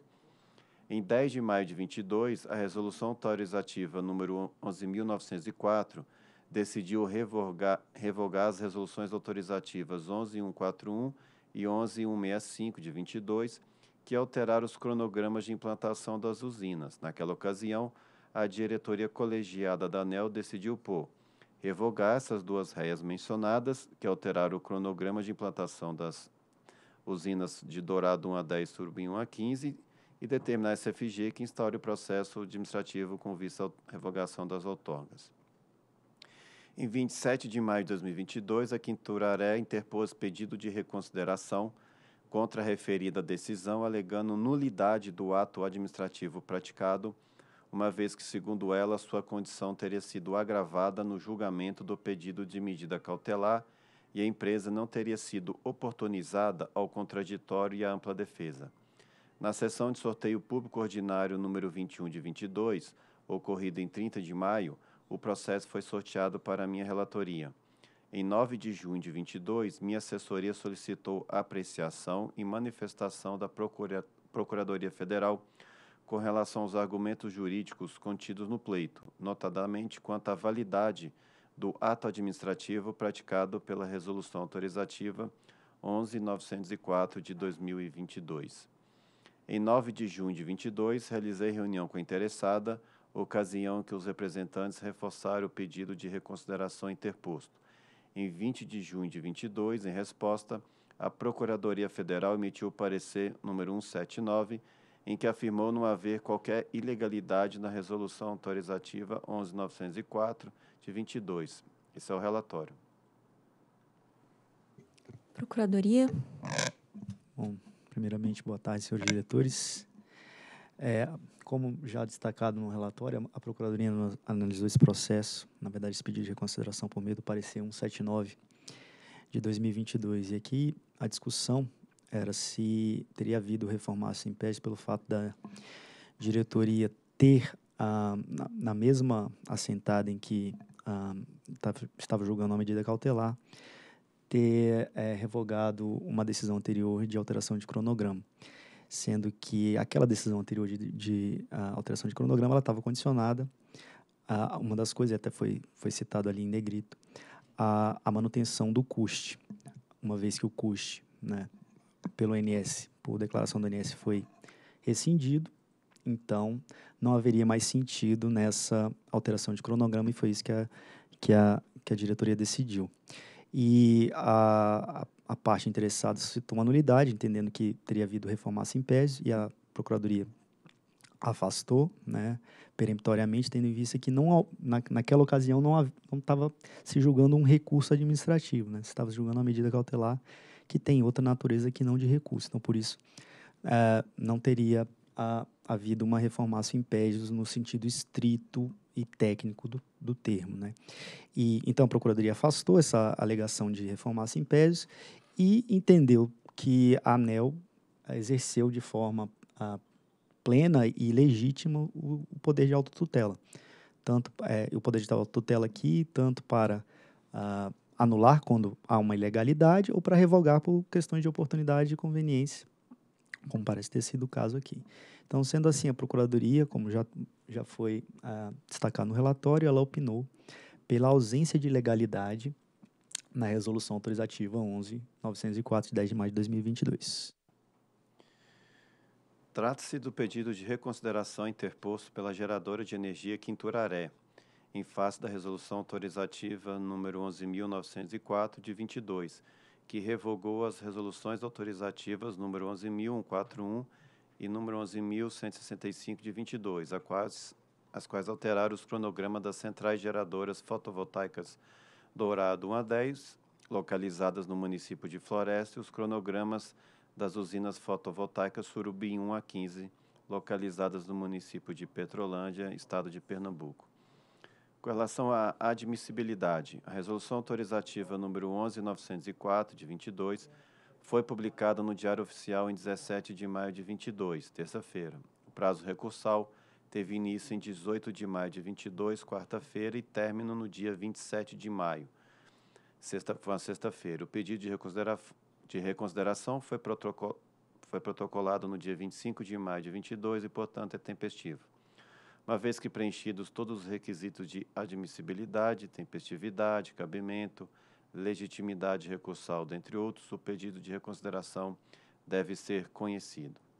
Com relação à análise do mérito, o pedido de reconsideração interposto pela Quinturaré visa anular a resolução autorizativa 11904 de 22, com o objetivo de que lhes sejam oportunizados o, o contraditório e ampla defesa antes do julgamento do pedido de medida cautelar que buscou a concessão do efeito suspensivo para que os custos das usinas não fossem recebidos pelo ONS e, alternativamente, a suspensão do trâmite deste processo para que seja possibilitada a celebração de um termo de ajustamento de conduta, o TAC, com a ANEL, com vistas a, a viabilizar a implantação dos empreendimentos. Passo a analisar a seguir, separadamente, os dois objetos que compõem o pedido de reconsideração da requerente.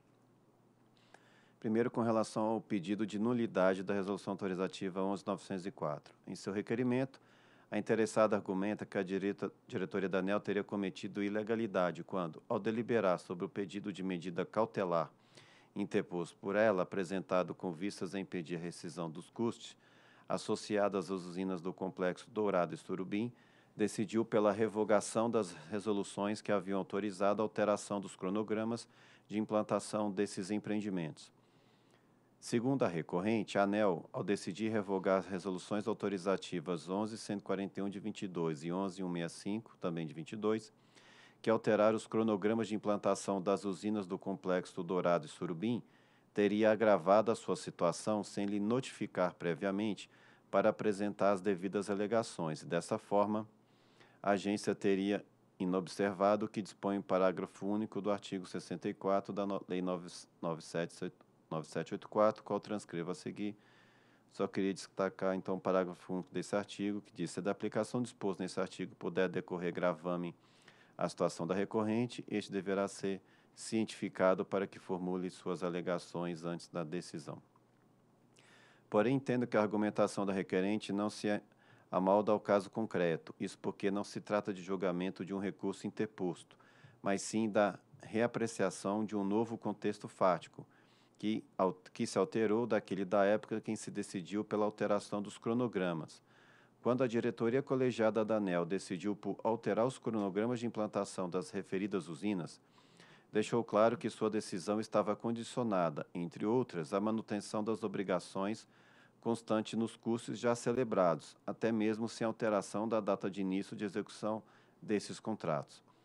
Isso porque, em acordo com o posicionamento técnico firmado pela Superintendência de Regulação do Serviço de Transmissão, SRT, a diretoria entendeu que a postergação do início de vigência dos referidos custos, se concedida, implicaria na frustração na arrecadação dos encargos de uso do sistema de transmissão, EUST, previstos para as transmissoras durante o ciclo, uma vez que a receita anual permitida, definida pela ANEL, contabilizou esses usuários como um dos pagantes do serviço de transmissão.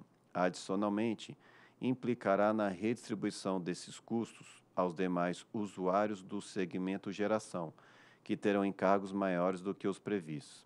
Inclusive, o INES constatou, quando consultado pela SFG no âmbito da campanha de fiscalização, que os pontos de conexão de ambos os complexos são pontos disputados por outros geradores, que não puderam se conectar ali em razão dos custos já afirmados pela Quinturaré.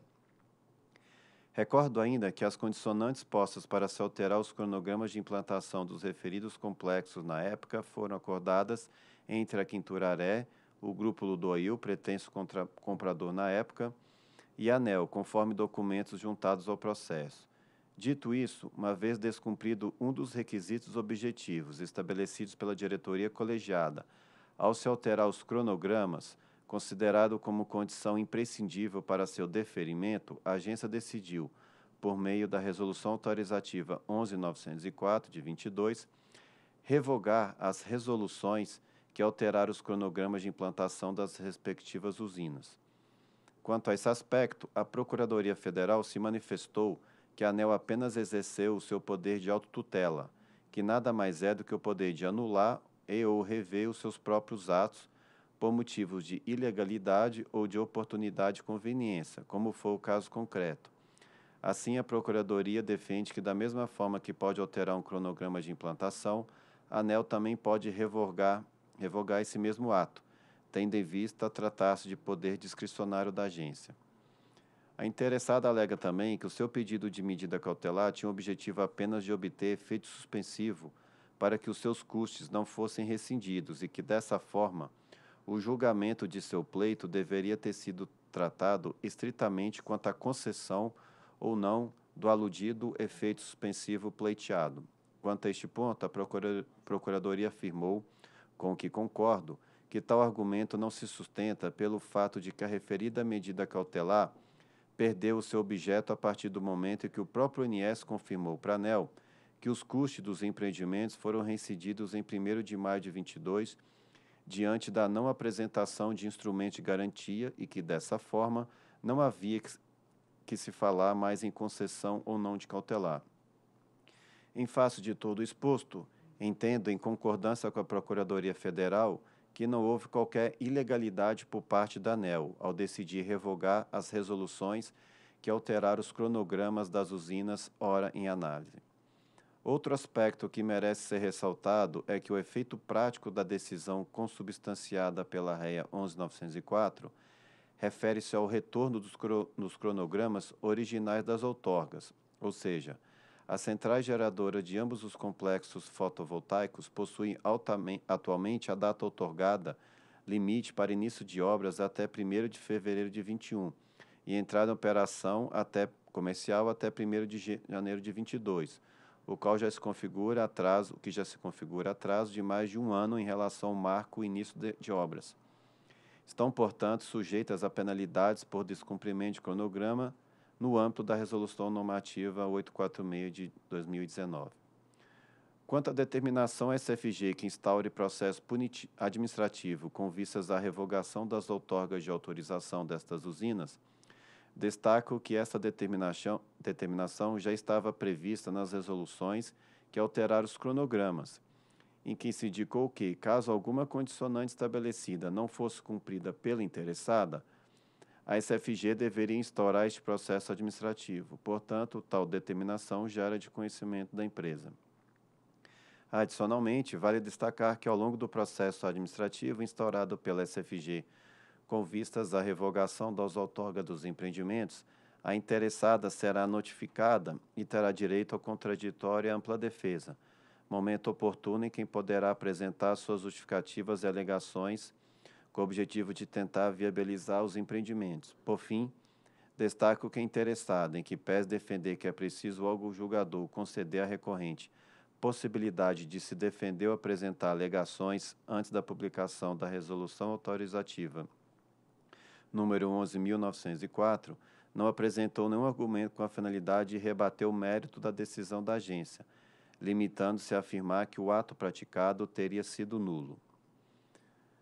Agora, com relação ao pedido de suspensão do trâmite processual para celebração do termo de ajustamento de conduta com a ANEL. Conforme já, como já mencionado, alternativamente ao pedido de nulidade da resolução autorizativa 11904, a Quinturaré solicita que seja celebrado um termo de ajustamento de conduta com a ANEL, com o objetivo de encontrar uma solução consensual ao qual poderia viabilizar os projetos dos, dos complexos fotovoltaicos Dourado e Surubim.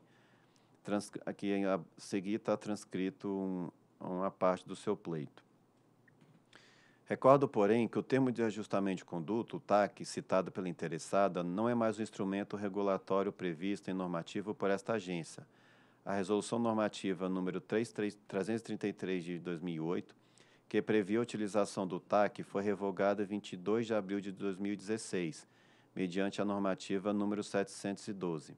Dessa forma, não há atualmente normativo que permita a celebração de TAC, o que foi corroborado pela Procuradoria no parecer 357 de 2016. Ademais, a Quinturaré afirmou nos autos do processo que a empresa Amazon Energia teria assumido os projetos Dourado e Surubim e que a proposta de TAC apresentada poderia viabilizar os empreendimentos. Contudo, entendo que quaisquer ações a serem propostas com o objetivo de viabilizar as usinas devem ser discutidas no âmbito do processo administrativo instaurado pela SFG, com vistas à revogação das outorgas das usinas, conforme determinação da diretoria colegiada da ANEL em sua decisão consubstanciada pela REA 11904 de 2022, momento que será discutida a viabilidade dos empreendimentos. Então, foram, tiveram duas reuniões com os, os agentes, e o que foi colocado é que a ICFG tá, já está instruindo o processo relacionado à revogação, conforme determinado pela diretoria, e que lá ela pode não formar um TAC, mas, na verdade, elaborar, um, é, em vez de é, é ter a revogação, propor um plano de transferência, já que agora entrou um novo controlador, que até então não, não se tinha. Então, ela pode ter, é, ter, cabe a ela, o empreendedor, é, comprovar a viabilidade do empreendimento, que realmente esses projetos sejam concretizados e que, é, que depois a CFV vai analisar e recomendar à diretoria que se revogue ou não se revogue em função de aceitar um eventual plano de transferência. A partir de tal, então, portanto, o dispositivo, a partir de tais argumentos e do que consta no processo 48.500.004476-2022, Voto por conhecer e, no mérito, negar provimento ao pedido de reconsideração interposto pela geradora de energia Quinturaré, em face da resolução autorizativa 11.904 de 2022, que, que revogou as resoluções autorizativas 11.141 a 11.165 de 22, onde alteraram os cronogramas das centrais geradoras fotovoltaicas Dourado 1 a 10, localizadas no município de Floresta, e os cronogramas das centrais geradoras fotovoltaicas Surubim 1 a 15, localizadas no município de Petrolândia, estado de Pernambuco. Esse é o voto. Em discussão? Em votação. Eu voto com o relator. Eu acompanho o voto do relator. Também voto com o relator e proclamo que a diretoria, por unanimidade, decidiu conhecer e, no mérito, negar provimento ao pedido de reconsideração interposto pela geradora de energia Quinturaré SPL-TDA em face da resolução autorizativa 11.904 de 2022, que revogou as resoluções autorizativas 11.141 e 11.165 de 2022, que alteraram os cronogramas das centrais geradoras fotovoltaicas UFVs Dourado 1 a 10, localizadas no município de Floresta, e os cronogramas da UFV Surubim 1 a 15, localizados no município de Petrolândia, estado de Pernambuco. Próximo item. Haverá uma inversão na ordem da pauta, de forma que eu chamo o item 19, processo 48.500.00.1325.2022, 19. Estabelecimento das receitas adicionais de receita anual permitida RAP, referentes a reforços a serem considerados no reajuste anual de RAP das concessionárias de transmissão de energia elétrica, ciclo 2022-2023. Diretor-relator, Elvio Neves Guerra.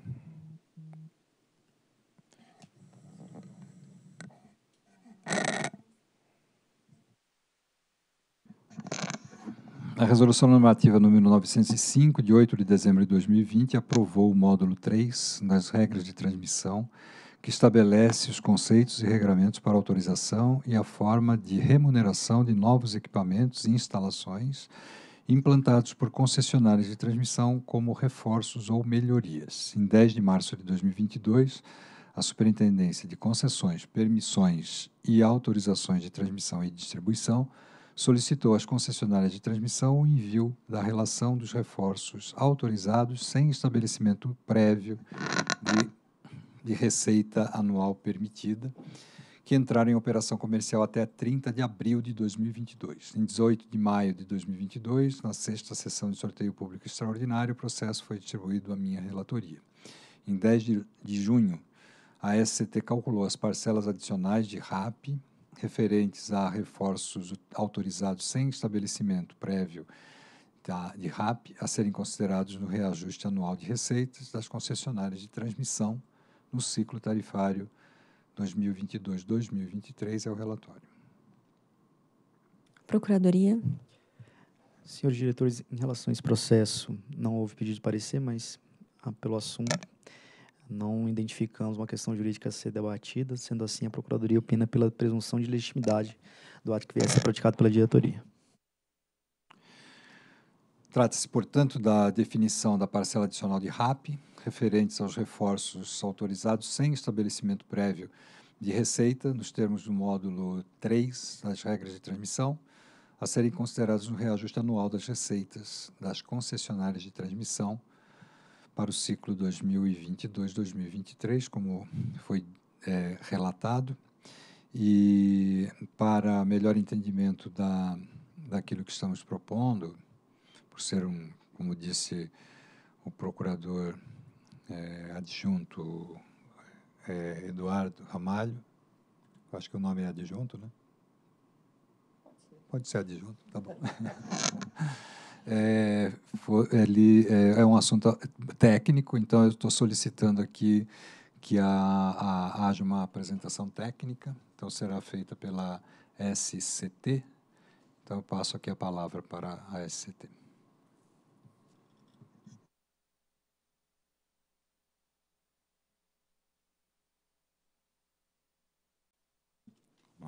Agora, novamente, boa tarde, diretora Camila. Boa tarde, demais diretores. É, esse processo ele está inserido no, juntamente com o processo de estabelecimento da receita das transmissoras, é o, o, reajuste anual que ocorre todos os anos, né? E ele vai subsidiar esse processo com uma parte dessa receita, né? Eu gostaria de iniciar essa apresentação é, tratando, estabelecendo, reduzindo o escopo daquilo que estamos falando, né? Apresentando qual que são as obras que estamos estabelecendo receita aqui, né? Então, para quando nós tratamos de reforços, ou seja, de autorização de obras para aumento do serviço de transmissão, nós temos dois grupos. Um grupo que é denominado obras de grande porte, são obras em instalações de transmissão existentes. E, como o próprio nome diz, são obras que possuem um elevado valor de investimento, de receita associado, um grande impacto no sistema e também um, um tempo de instalação também grande, né? Eu coloquei como exemplo a instalação de um transformador ou de potência, ou mesmo de um banco de capacitor série, ou mesmo de equipamentos de compensação reativa, como reatores e capacitores. Esses são os equipamentos que perfazem o chamado grande porte. E um outro grupo, que é esse realmente que estamos tratando aqui, é o, os chamados reforços de pequeno porte, né? que por sua natureza eles possuem valores de investimento e receita inferiores, né, menores, eles têm um tempo de instalação também pequeno e um menor impacto no sistema quando comparado com as obras de grande porte. Se nas obras de grande porte, em, eh, em números do ano de 2021, nós autorizamos 130 obras com um investimento da ordem de 2,4 bilhões de reais e RAP de 400 milhões, quando nós tratamos do pequeno porte, nós estamos falando de é, autorização de mil obras, que foi o que fizemos no ano de 2021. No ano de 2021 também foram estabelecidas as receitas para é, dos, é, aproximadamente 300 obras, com investimento de 250 milhões e RAP de 40 milhões de reais. É, esses são os números aí do, do, do pequeno porte, né? Dito isso, é, eu passo então para o, o, processo que é realizado, né? Então, esse processo do estabelecimento de é, autorização estabelecimento de RAP para o pequeno porte, ele se inicia com uma oitiva do pote, né? Então, assim, existe uma oitiva desse plano que é feito entre a ANEL e os órgãos de planejamento, nesse caso pelo ONS, onde são discutidas essas obras, identificada cada uma das obras que vão compor a consolidação de obras. O ONS faz essa consolidação de, dessas obras e emite um pote com os reforços de pequeno porte. E, na sequência, a ANEL faz a autorização. Nesse caso, ainda é uma autorização sem estabelecimento prévio de receita. Então, esse foi o que em 2021 nós autorizamos em torno de mil obras. Esse ano nós também estamos autorizando um número, já autorizamos já 600 obras esse ano. Né? É um processo que hoje eh, ele está sendo realizado pela SCT. Então, tem uma delegação da diretoria para que essa autorização desses reforços de pequeno porte sejam feitos pela área técnica. Né? Uma vez autorizado, as empresas implantam essas obras, as transmissoras, e, na sequência, é, quando termina de implantar, todos os anos tem o processo do reajuste, e aí chegamos exatamente no processo que aqui estamos, né? que seria o estabelecimento do, da receita para esses reforços de pequeno porte, para todas aquelas obras que as transmissoras identificam que foram efetivamente implantadas. Né? É estabelecida uma receita em caráter provisório, que posteriormente na revisão tarifária é definida a receita em caráter definitivo. Esse é um processo que foi estabelecido já há um bom tempo. Hoje, quem é, a, nós seguimos a Resolução 905 de 2020, mas por força da consulta pública da CP30 e depois culminou no, na Resolução Normativa 1020 de 2022, foi no mês passado, né, aprovada aqui nesta diretoria, esse processo ele vai mudar a partir do ano de 2023. Então, até este ano, a gente fazia todo o estabelecimento de receita para um número muito grande de obras né, anualmente.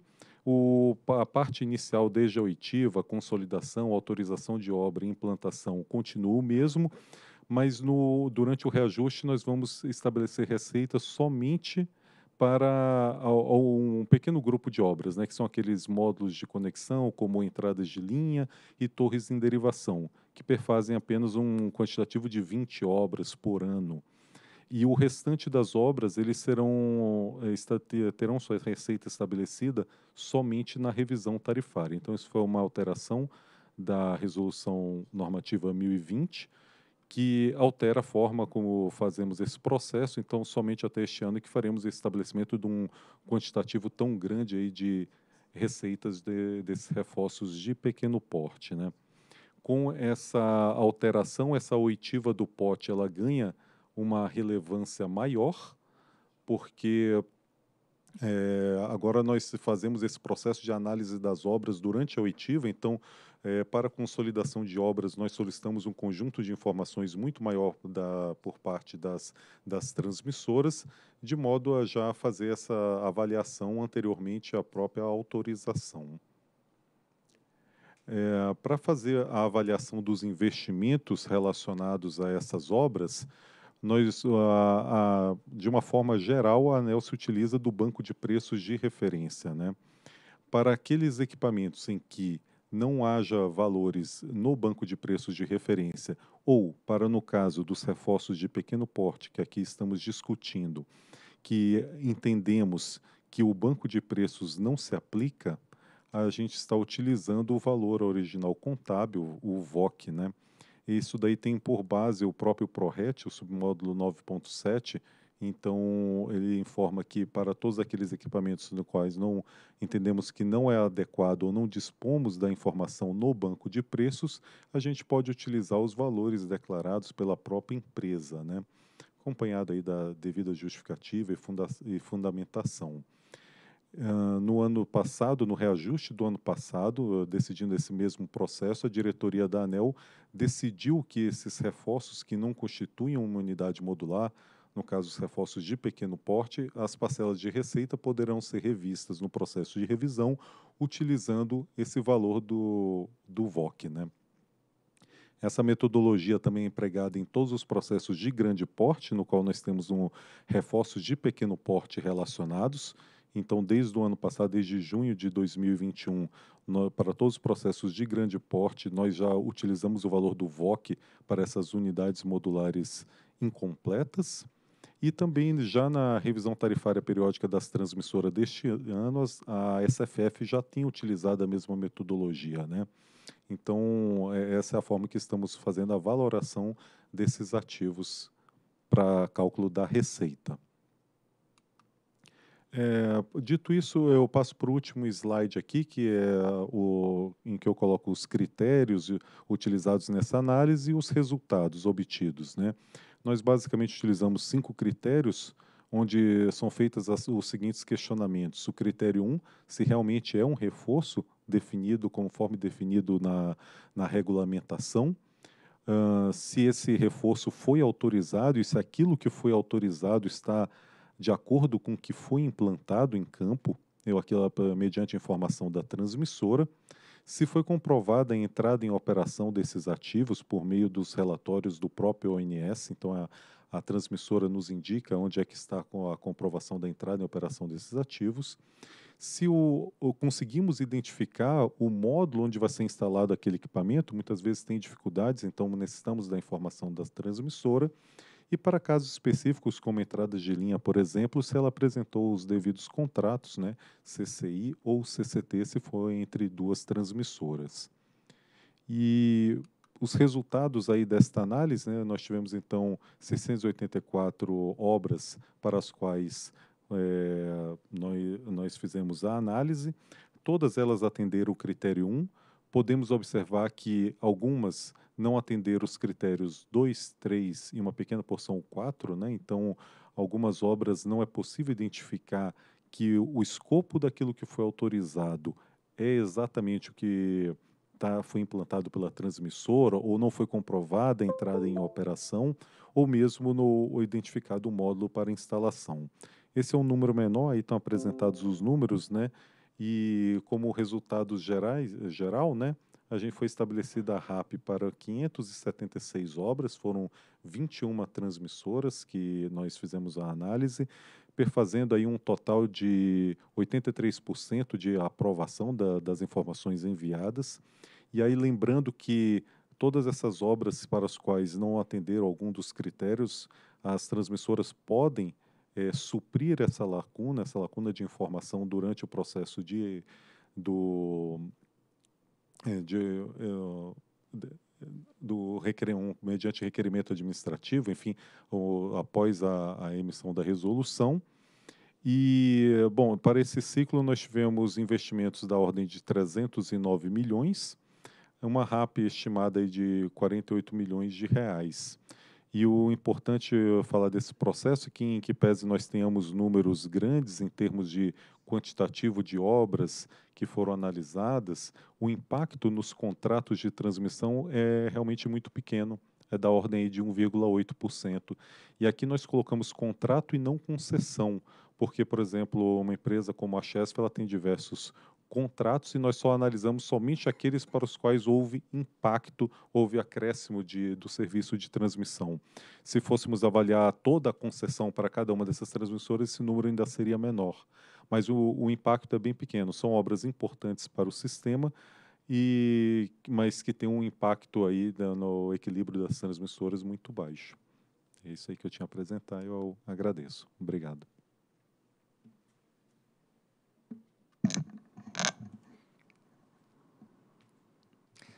Bem, é, Eu, da mesma forma que já fiz em casos anteriores, eu vou dispensar aqui a leitura da fundamentação, porque o André, e aqui o André Master, né, fez a. Nós temos vários Andrés aqui na ANEL, então o André Master fez uma apresentação aí muito importante. Eu, eu de vez em quando eu falo que o, alguma, alguns é, servidores, alguns especialistas técnicos que fazem é, apresentações técnicas aqui, eles criam um problema para a ANEL e criam um problema para os outros, porque eles fazem tão bem feito que os outros vão ter que seguir na mesma linha, tá? Então, André, você é, você criou essa, esse problema pela apresentação tão boa que você fez e acaba virando um exemplo importante para que outros façam da mesma forma. Então, foram destacados aqui todos os pontos muito é, relevantes daquilo que está na, na própria fundamentação e eu vou, então, dessa forma, é, dispensar é, a apresentação, a fundamentação. Como foi dito, o investimento total em reforços nesse ciclo foi da ordem de, de 309 milhões, que resulta em um adicional de RAP de 48 milhões. Então, é, é, essa, essas, é, essas melhorias né, de pequeno porte, né, elas são muito relevantes e causam aí um, um, um grande trabalho aí para a SCT na, na avaliação. Né? Então, acho que é um, um, são, damos passos aqui importantes. Foram, são 15 concessionárias que tiveram seu investimento reconhecido e o adicional de RAP calculado. Algumas dessas concessionárias possuem é, mais de um contrato de concessão vinculado, como é o caso, por exemplo, da Chesf, da Eletronorte, da CEMIG, da SGT, da, perdão, CGT Eletrosul, da TBE, da State Grid e Aliança. Todas têm mais do que um contrato de concessão vinculados a elas.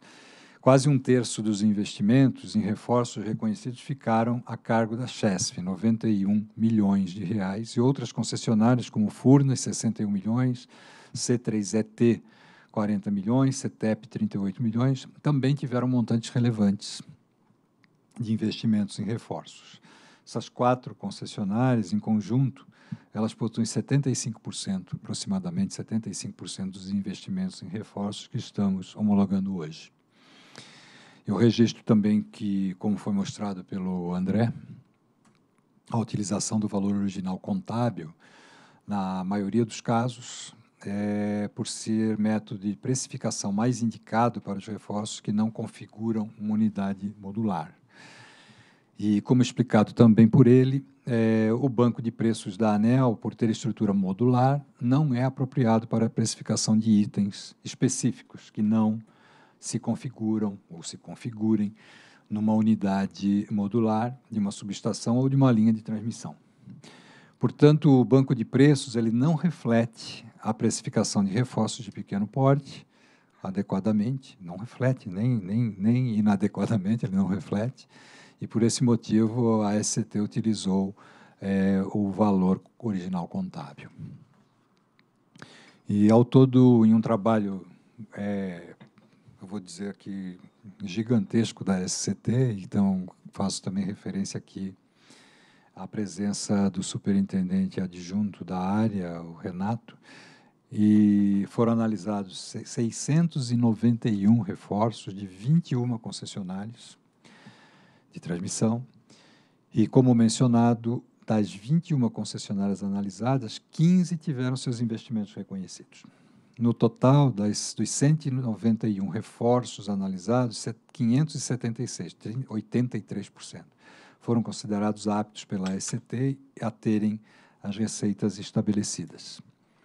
Eu, tendo em vista, então, a, a esses comentários e as, e as, as considerações feitas pelo André na sua apresentação técnica, eu peço licença aqui para passar direto ao dispositivo. Diante do exposto, o que consta do processo número 48.500.001325-2022-19, voto pela emissão de, da resolução autorizativa anexa que homologa as parcelas adicionais de receita anual permitida, referentes às, a reforços autorizados sem estabelecimento prévio de receita, nos termos do item 2.4, seção 3.1 das regras de transmissão, a serem consideradas no reajuste anual de receitas das, de receitas das concessionárias de transmissão no ciclo tarifário 2022-2023. É o voto. Em discussão? Bom, só queria também enfatizar o que o diretor colocou, porque é muita obra e a SCT que tem que garimpar mesmo. Então, isso perde-se muito tempo para ter a, a consistência de que, ver, é, de que realmente são reforços e as concessionárias não estão querendo misturar as suas obrigações contratuais de operação e manutenção dentro daquilo que é, tem que ser classificado como reforço, que é o que o sistema está necessitando. Né? Então, é, o, o resultado em si ele é pequeno, como o André colocou, em termos né, de acréscimo de RAP nos contratos, mas tem uma responsabilidade muito grande em função do quantitativo de obras para realmente não deixe passar nada que não seja justo, né? Então, isso é, isso é, muito importante, o trabalho aí que foi feito, que não, é, não tem como ser tão automático, não. Tem que... Leva-se muito tempo mesmo com os recursos humanos que tem. Tá ótimo. É, em, em, em votação. Desculpa. Eu voto com o relator. Eu também voto com o relator. Também voto com o relator e proclamo que a diretoria, por unanimidade, decidiu homologar as parcelas adicionais de receita anual permitida à RAP, referentes a reforços autorizados sem estabelecimento prévio de receita, nos termos do item 2.4, seção 3.1, das regras de transmissão a serem consideradas no reajuste anual de receitas das concessionárias de transmissão no ciclo tarifário 2022-2023. Próximo item. Item 16. Processo 48.500.00.2921, 2018-30 e outros. Pedido de reconsideração interposto pelas empresas Mercury Renew Participações S.A. e Cacilândia Solar Participações S.A. em face do despacho número 1410 de 2022, que indeferiu o pedido de reconhecimento excludente de responsabilidade pelo atraso na implantação das usinas fotovoltaicas, UFVs Cacilândia 1 a 6, localizadas no município de Cacilândia, Estado de Mato Grosso do Sul. Indeferiu o pedido de alteração dos cronogramas de implantação dessas usinas. Diretor relator Efraim Pereira da Cruz e o voto será lido pelo diretor Ricardo Tille. As resoluções autorizativas listadas no quadro 1 autorizaram a implantação e exploração de centrais geradoras fotovoltaicas no município de Cacilândia, estado do Mato Grosso do Sul, atualmente sob a titularidade de Cacilândia Solar Participações S.A., pelo prazo de 35 anos. A Cacilândia Solar Participações solicitou alteração de cronograma das usinas em apreço em dezembro de 2021. Na décima reunião pública ordinária, a diretoria colegiada da ANEL determinou que a Superintendência de Concessões e Autorização de Geração, SCG, e a Superintendência de Fiscalização de Serviços de Geração, SFG, priorizassem a análise dos pedidos de alteração de cronograma das centrais geradoras com data de início de vigente do contrato de uso do sistema de transmissão custe no ciclo 2023, 2022 e 2023 e conclua a instrução até 30 de abril de 2022, estabelecendo critérios para essa priorização.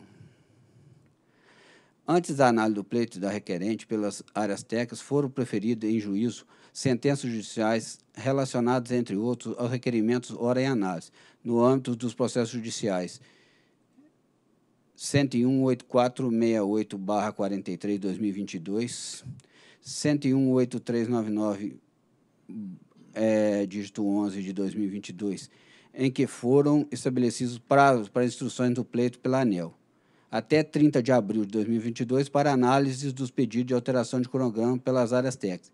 E até 24 de maio de 2022 para decisão dos requerimentos pela diretoria colegiada e até 21 de junho de 2022 para a decisão dos pedidos de reconsideração, se houver. A SCG e a FFG FG, apresentaram nota técnica número 287, de 11 de abril de 2022, a análise do pleito e recomendar o indeferimento dos pedidos de alteração do cronograma nas centrais geradoras fotovoltaicas Cacilândia de 1 a 6 o colegiado indeferiu o pedido de alteração de cronogramas de implantação das UFVs Cacilândia 1 a 6 nos termos do despacho 1410 de 2022, na 18ª reunião pública ordinária da diretoria, diretoria ocorrida em 24 de maio de 2022. Em 8 de julho de 2022, os interessados interpuseram pedido de recon, recon, reconsideração em face do aludido despacho. Mediante o memorando número 139 de 2022, ASD ANEL, de 14 de junho de 2022, da assessoria do Dr. Efraim, solicitou à SGCG a análise de um pedido de reconsideração interposto pelas requerentes. Em resposta, a SCG, em conjunto com a SFG, emitiu o memorando 122 de 2022, de 15 de junho de 2022, em que ratifica o entendimento da nota técnica 287 de 22, mantendo a recomendação do indeferimento do pedido de alteração do cronograma da UFV Caçelândia 1 a 6, uma vez que os fatos causadores do atraso do cronograma de implantação das usinas não se caracterizavam, não se caracterizam como excludente de responsabilidade. Em 20 de junho de 2022, a assessoria do Dr. Efraim realizou uma reunião na modalidade virtual com representantes dos, do, das requerentes. É o que ele relata. Procuradoria. Os senhores diretores, aqui não houve pedido de parecer da Procuradoria, mas eu creio que a matéria já está relativamente pacificada pelas últimas decisões dessa diretoria. Sendo assim, a Procuradoria opina pela presunção de legitimidade do ato que vier a ser praticado pela diretoria. Fundamentação. Trata-se de análise de pedido de reconsideração interposto pela empresa Mercury, Renway, Participações S.A. e Cacilane Solar Participações S.A. Em face do despacho 1410 de 2022, que indeferiu o pedido de alteração de cronograma de implantação da UFV Cacilândia de 1 a 6 em razão da inexistência de período excludente de responsabilidade a ser reconhecido pelo atraso na implantação das usinas. Da admissibilidade. Em conformidade com o artigo 59 da Lei 9784, de 29 de janeiro de 99, e nos termos do artigo 48 da norma organizacional da ANEL, número 001, o prazo para interposição de recurso é de 10 dias, contados a partir da cientificação oficial. O despacho 1410 foi publicado no Diário Oficial no dia 30 de maio de 2022, uma segunda-feira. A notificação eletrônica, nos termos da Resolução Normativa 1004, de 8 de fevereiro de 2022, se deu no dia 3 de junho de 2022, na sexta-feira, conforme comprovado o envio juntado ao processo. O prazo recursal teve início dia 6 de junho de 2022 e o termo dia 15 de junho de 2022. O pedido de reconsideração, foi protocolado no dia 9 de junho de 2022 e, portanto, é tempestivo, uma vez que preenche todos os requisitos de admissibilidade, tempestividade, cabimento, legitimidade recursal, dentre outros. O pedido de reconsideração deve ser conhecido. No mérito, o pedido de reconsideração apresentado pelas requerentes se baseia em três argumentos, os quais serão avaliados a seguir. A inaplicabilidade de novas condicionantes restritivas, a inexistência de prejuízo sistemático na alteração do cronograma e o impacto do, da pandemia nas crises, na cri, desculpa, pandemia e crise energética chinesa, na contratação de equipamentos e implantação de empreendimentos. A inaplicabilidade de novas condicionantes restritivas. As requerentes alegam que a decisão dessa agência reguladora, ao interferir o pleito das UFV Cacilândia de 1 a 6 afronta diversos dispositivos legais e, e princípios de observância de obrigatória, obrigatória da ANEL, colocando em risco a legalidade da decisão adotada, uma vez que se deu baseado em estabelecimento de novas condicionantes para deferimento de alterações de cronograma de empreendimentos no ambiente de contratação livre. Resumidamente, se reporta a decisão da, da diretoria colegiada na décima RPO, que, na visão do, das requerentes, teria trazido condicionantes sem indicação de fundamentação ou permissão legal, configura indevida inovação no ordenamento jurídico regulatório. Também por resultar, resultar em imposição de condicionantes subjetivos, o que implora, extrapolam a previsão legal e que não foram submetidas a trâmites de análise de impacto regulatório e consulta pública correlata. Não há na decisão recorrida sequer elementos para aferir os impactos, a viabilidade e possível fra fragilidade nas condicionantes que, causa, que causam relevantes impactos ao mercado e contrariam a, justiça, a justa expectativa das recorrentes. Ainda na, na visão das empresas, a aplicação irrestrita de tais condicionantes, sem análise da situação específica dos projetos em questão, associada à alegação de inova inovação jurídica de caráter restritivo e de ampliação geral, aplicação geral, baseada apenas em decisões da própria agência e em outros casos co concretos que não necessariamente são semelhantes, afrontaria diversos dispositivos legais e princípios e princípios de observância obrigatória pela ANEL, colocando em risco a legalidade da decisão adotada. Sobre os argumentos, dois pontos devem ser reforçados. O primeiro deles diz respeito especificamente ao alegado, ao alegado estabelecimento de condicionante restritivo. Cabe esclarecer que a decisão da diretoria colegiada, na décima RPO, apenas estabeleceu critérios de, de prior, prior, desculpa, priorização da análise de inúmeros pedidos protocolados na ANEL, sem necessariamente adentrar no mérito específico de cada pleito, o que deveria ser e foi realizado com em conjunto pela SCG e pela SCFG. Assim, o diretor relator não vislumbra que o estabelecimento dessas condicionantes tenha sido inovador ou tenha causado prejuízo aos agentes, já que apenas tinha o intuito de priorizar a ordem de instrução e a análise de diversos pleitos protocolados na agência. O voto condutor do despacho 1410 de 2022, o relator do processo apenas pontuou que esses requisitos para priorização da análise não eram atendidos pelo empreendimento, mas que a instrução processual havia sido priorizada em razão da decisão judicial ocorrida posteriormente. Após esse devido esclarecimento, deve-se atentar ao cerne da discussão. O pedido de alteração do cronograma em qualquer um dos ambientes de contratação não é um direito assegurado ao, ao autorizado. Muito pelo contrário, a administração pública deve sempre avaliar a conveniência e a oportunidade da sua decisão. A Resolução Normativa 876 de 2020, que estabelece os requisitos para emissão de outorgas de autorização, não define o direito ou compromisso de que será concedida a alteração de cronograma quando solicitado. Conforme avaliado pelas áreas técnicas na nota técnica 278 de 2022, verifique-se o aumento significativo de outorgas emitidas para comercialização de energia no ACL e, com, com consequência, acirrou-se a disputa por margem de escoamento nos pontos de acesso ao sistema elétrico brasileiro. Diante desse cenário regulatório, em que há respeito, desculpa, em que há projetos ainda, na viabiliz, ainda não viabilizados, que podem ocupar a margem de escoamento e, com isso, inviabilizar a participação de novos entrantes, criando barreiras e ou mesmo a comercialização de autógrafos associados ao direito de escoamento de transmissão a ANEL passou a entender ser necessária a ocorrência de eventos excludentes de responsabilidades, alterar o cronograma de implantação de implementos no ACL, especialmente quando o objetivo principal dessa alteração de cronograma é permitir alterações no início de execução dos respectivos contratos de uso do sistema de transmissão.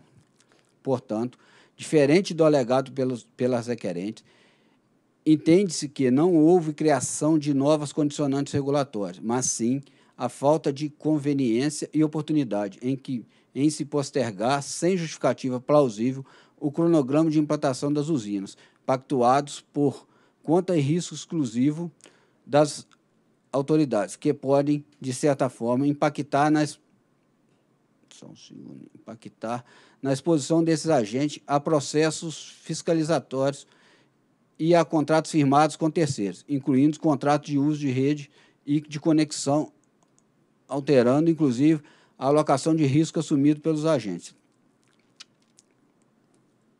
Inexistência de prejuízo, prejuízo sistemático na alteração do cronograma. Sobre o argumento, os requerentes alegam que celebrar um custe é uma obrigação regulatória, independente da vontade do agente, sendo essa etapa extremamente relevante na viabilização dos projetos de geração. Ademais, indica que, no caso da UFV Caçolândia 1 a 6, não há disputa pelo ponto de conexão, havendo margem para a entrada de outros agentes. Além disso, argumentam, baseado na nota técnica 16 de 2022 e de 4 de fevereiro de 2022, que, por haver margem de escoamento no ponto de conexão do complexo Cacilândia, assinatura do respectivo CUJ não representa reserva de margem de escoamento em determinado detrimento a outros possíveis interessados pelo mesmo ponto de conexão. Conforme mencionados pelos requerentes, de fato, há rito que define prazos regulatórios para assinatura de contrato. No entanto, entende, o diretor entende que, ao assiná-los na data infactível diante da realidade de implantação de projeto, as requerentes assumiram o risco de arcar com as obrigações contratuais antes mesmo da conclusão do empreendimento. Nesse trecho da argumentação, as requerentes novamente alegam sobre expectativa de direito e mudança de entendimento da ANEL, mas, conforme já foi afirmado anteriormente, não se verifica mais, conveni mais conveniência ou oportunidade a alterar o cronograma das usinas do ACL, sem a respectiva avaliação do excludente de responsabilidade diante do conjunto conjuntura atual. A ANEL entendia oportuno e conveniente alterar o cronograma de implantação de empreendimentos que não comercializassem energia no ACR ainda que não houvesse caracterização de excludente de responsabilidade, desde que isso não significasse alocar custos a demais participantes do setor, como consumidores, geradores e transmissores. Porém, como reafirma, esse cenário se alterou e cabe à ANEL avaliar os pedidos de acordo com a conjuntura setorial.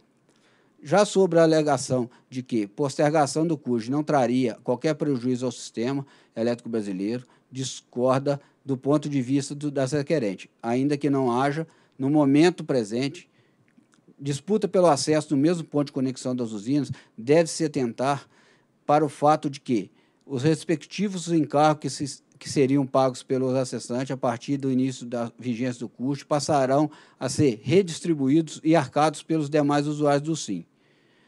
Ainda que a rede estivesse configurada na data original, do início da execução para receber a energia desse empreendimento.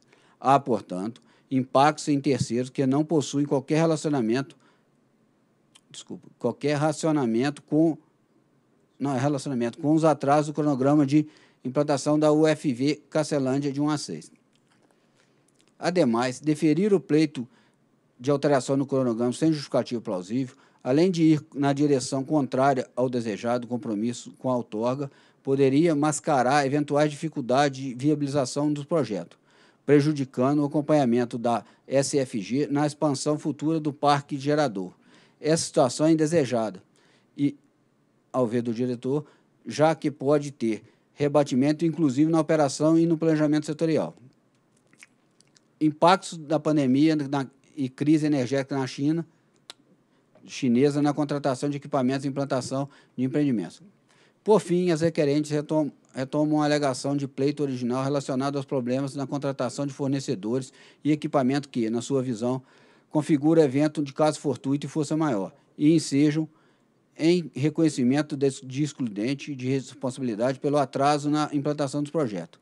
Na visão das empresas, a análise da área técnica as, na análise da área técnica não teria abordado questões essenciais para o reconhecimento de que a crise energética na China figura ao, fugiria ao controle e à capacidade de gestão das recorrentes. Primeiramente, destaca que as áreas técnicas avaliar, avaliaram especificamente essa alegação por, nota, por meio da nota técnica 287 de 2022, ocasião na qual se posicionaram no sentido de que não haver elementos para comprovar o nexo, nexo causal entre o atraso da implantação das usinas e as questões relativas à contrata contratação de fornecedores. Além disso, pontuam com que concordo que a contratação do fornecimento de equipamento encontra-se alocado na matriz de risco do agente de geração e recai na área originária do empreendedor. Dessa forma, não possui elementos necessários para que seja caracterizado como evento excludente de responsabilidade. Esse entendimento tem sido ratificado pela diretoria colegiada em diversas oportunidades, inclusive na decisão hora recorrida, no voto do condutor do despacho 1410. Esse tema também foi explorado pelo relator, com o qual concordo integralmente. As recorrentes afirmaram que não foram consideradas especificidades de sua contratação, que teria se tornado inviável diante da crise energética na China e da alegada escassez de insumo, se ancorando em, carta, em cartas de fornecedores que teriam notificado a ocorrência de evento de caso fortuito e força maior. Nesse ponto, é imprescindível separar os contratos entre as partes, no qual se enquadram os contratos das requerentes com os fornecedores, do compromisso firmado com a administração pública, no qual são respectivas outorgas e custe. É preciso se ter vista certos é, eventos, ainda que po possam ser inevitáveis, não exclui responsabilidade do agente, pois constitui risco inerente ao negócio praticado. É o que se convencionou denominar de fortuito interno. Trata-se de evento que é imprevisível, mas que se liga à atividade exercida, no caso, ao serviço público de energia elétrica a partir da implantação de empreendimento de geração autorizada. São situações que, apesar de incomuns, devem ser previstas ou evitadas, não eximindo de responsabilidade o agente, eis que se inclui na sua esfera de atuação e negócio. Permite aqui, inclusive, ressaltar o cuidado e o compromisso da ANEL na avaliação para o conhecimento de excludente de responsabilidade pelo atraso de implantação de empreendimentos.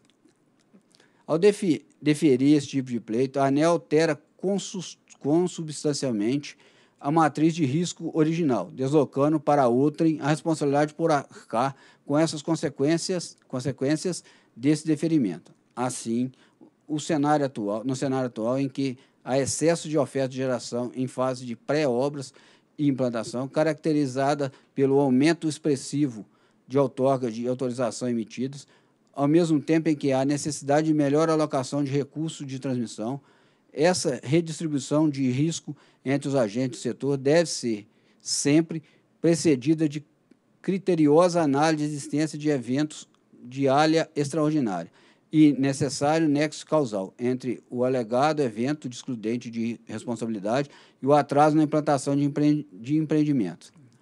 Além disso, destaca que, na recente manifestação das áreas técnicas da FF, FFG e SCG, pontu, pontuaram que, conforme informação prestada via RAPEL, na época da emissão da nota técnica 287-2028, até o presente momento, não houve avanço significativo no andamento dos projetos e que ainda restam indefinidas questões relativas à contratação de serviços e equipamento, ao equacionamento financeiro e comercialização de energia.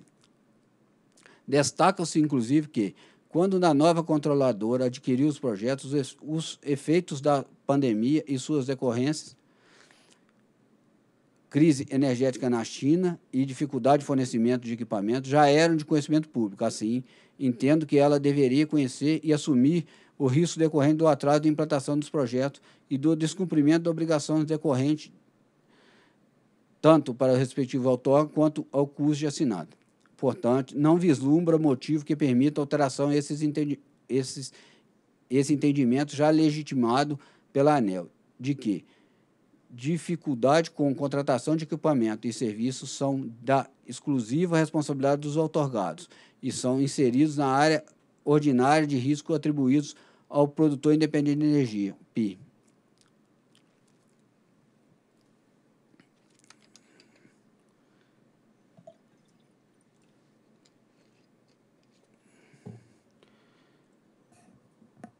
É, assim eu passo direto ao dispositivo.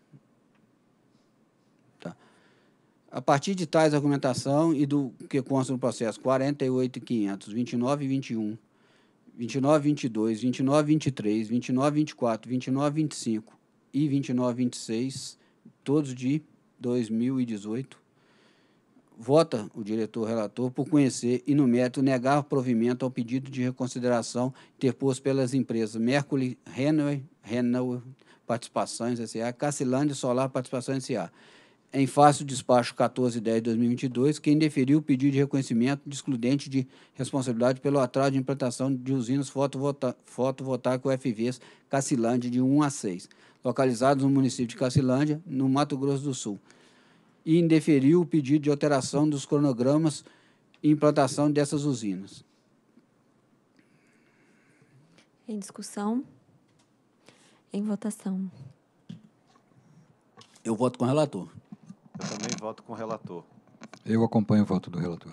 Também voto com o relator e proclamo que a diretoria, por unanimidade, decidiu conhecer e, no mérito, negar provimento ao pedido de reconsideração interposto pelas empresas Mercury Renew Participações e Cacilândia Solar Participações, em face do despacho 1410 de 2022, que indeferiu o pedido de reconhecimento de excludente de responsabilidade pelo atraso na implantação das usinas fotovoltaicas fotovoltaicas Cacilândia 1 a 6, localizadas no município de Cacilândia, estado de Mato Grosso do Sul, e indeferiu o pedido de alteração dos cronogramas de implantação dessas usinas. Peço que o secretário-geral informe se há mais algum processo para deliberação. O item 24 é de relatoria do diretor Efraim, mas ele foi retirado de pauta. Sendo assim, Declaro encerrada a 22ª reunião pública ordinária da diretoria da ANEL e desejo a todos uma boa noite.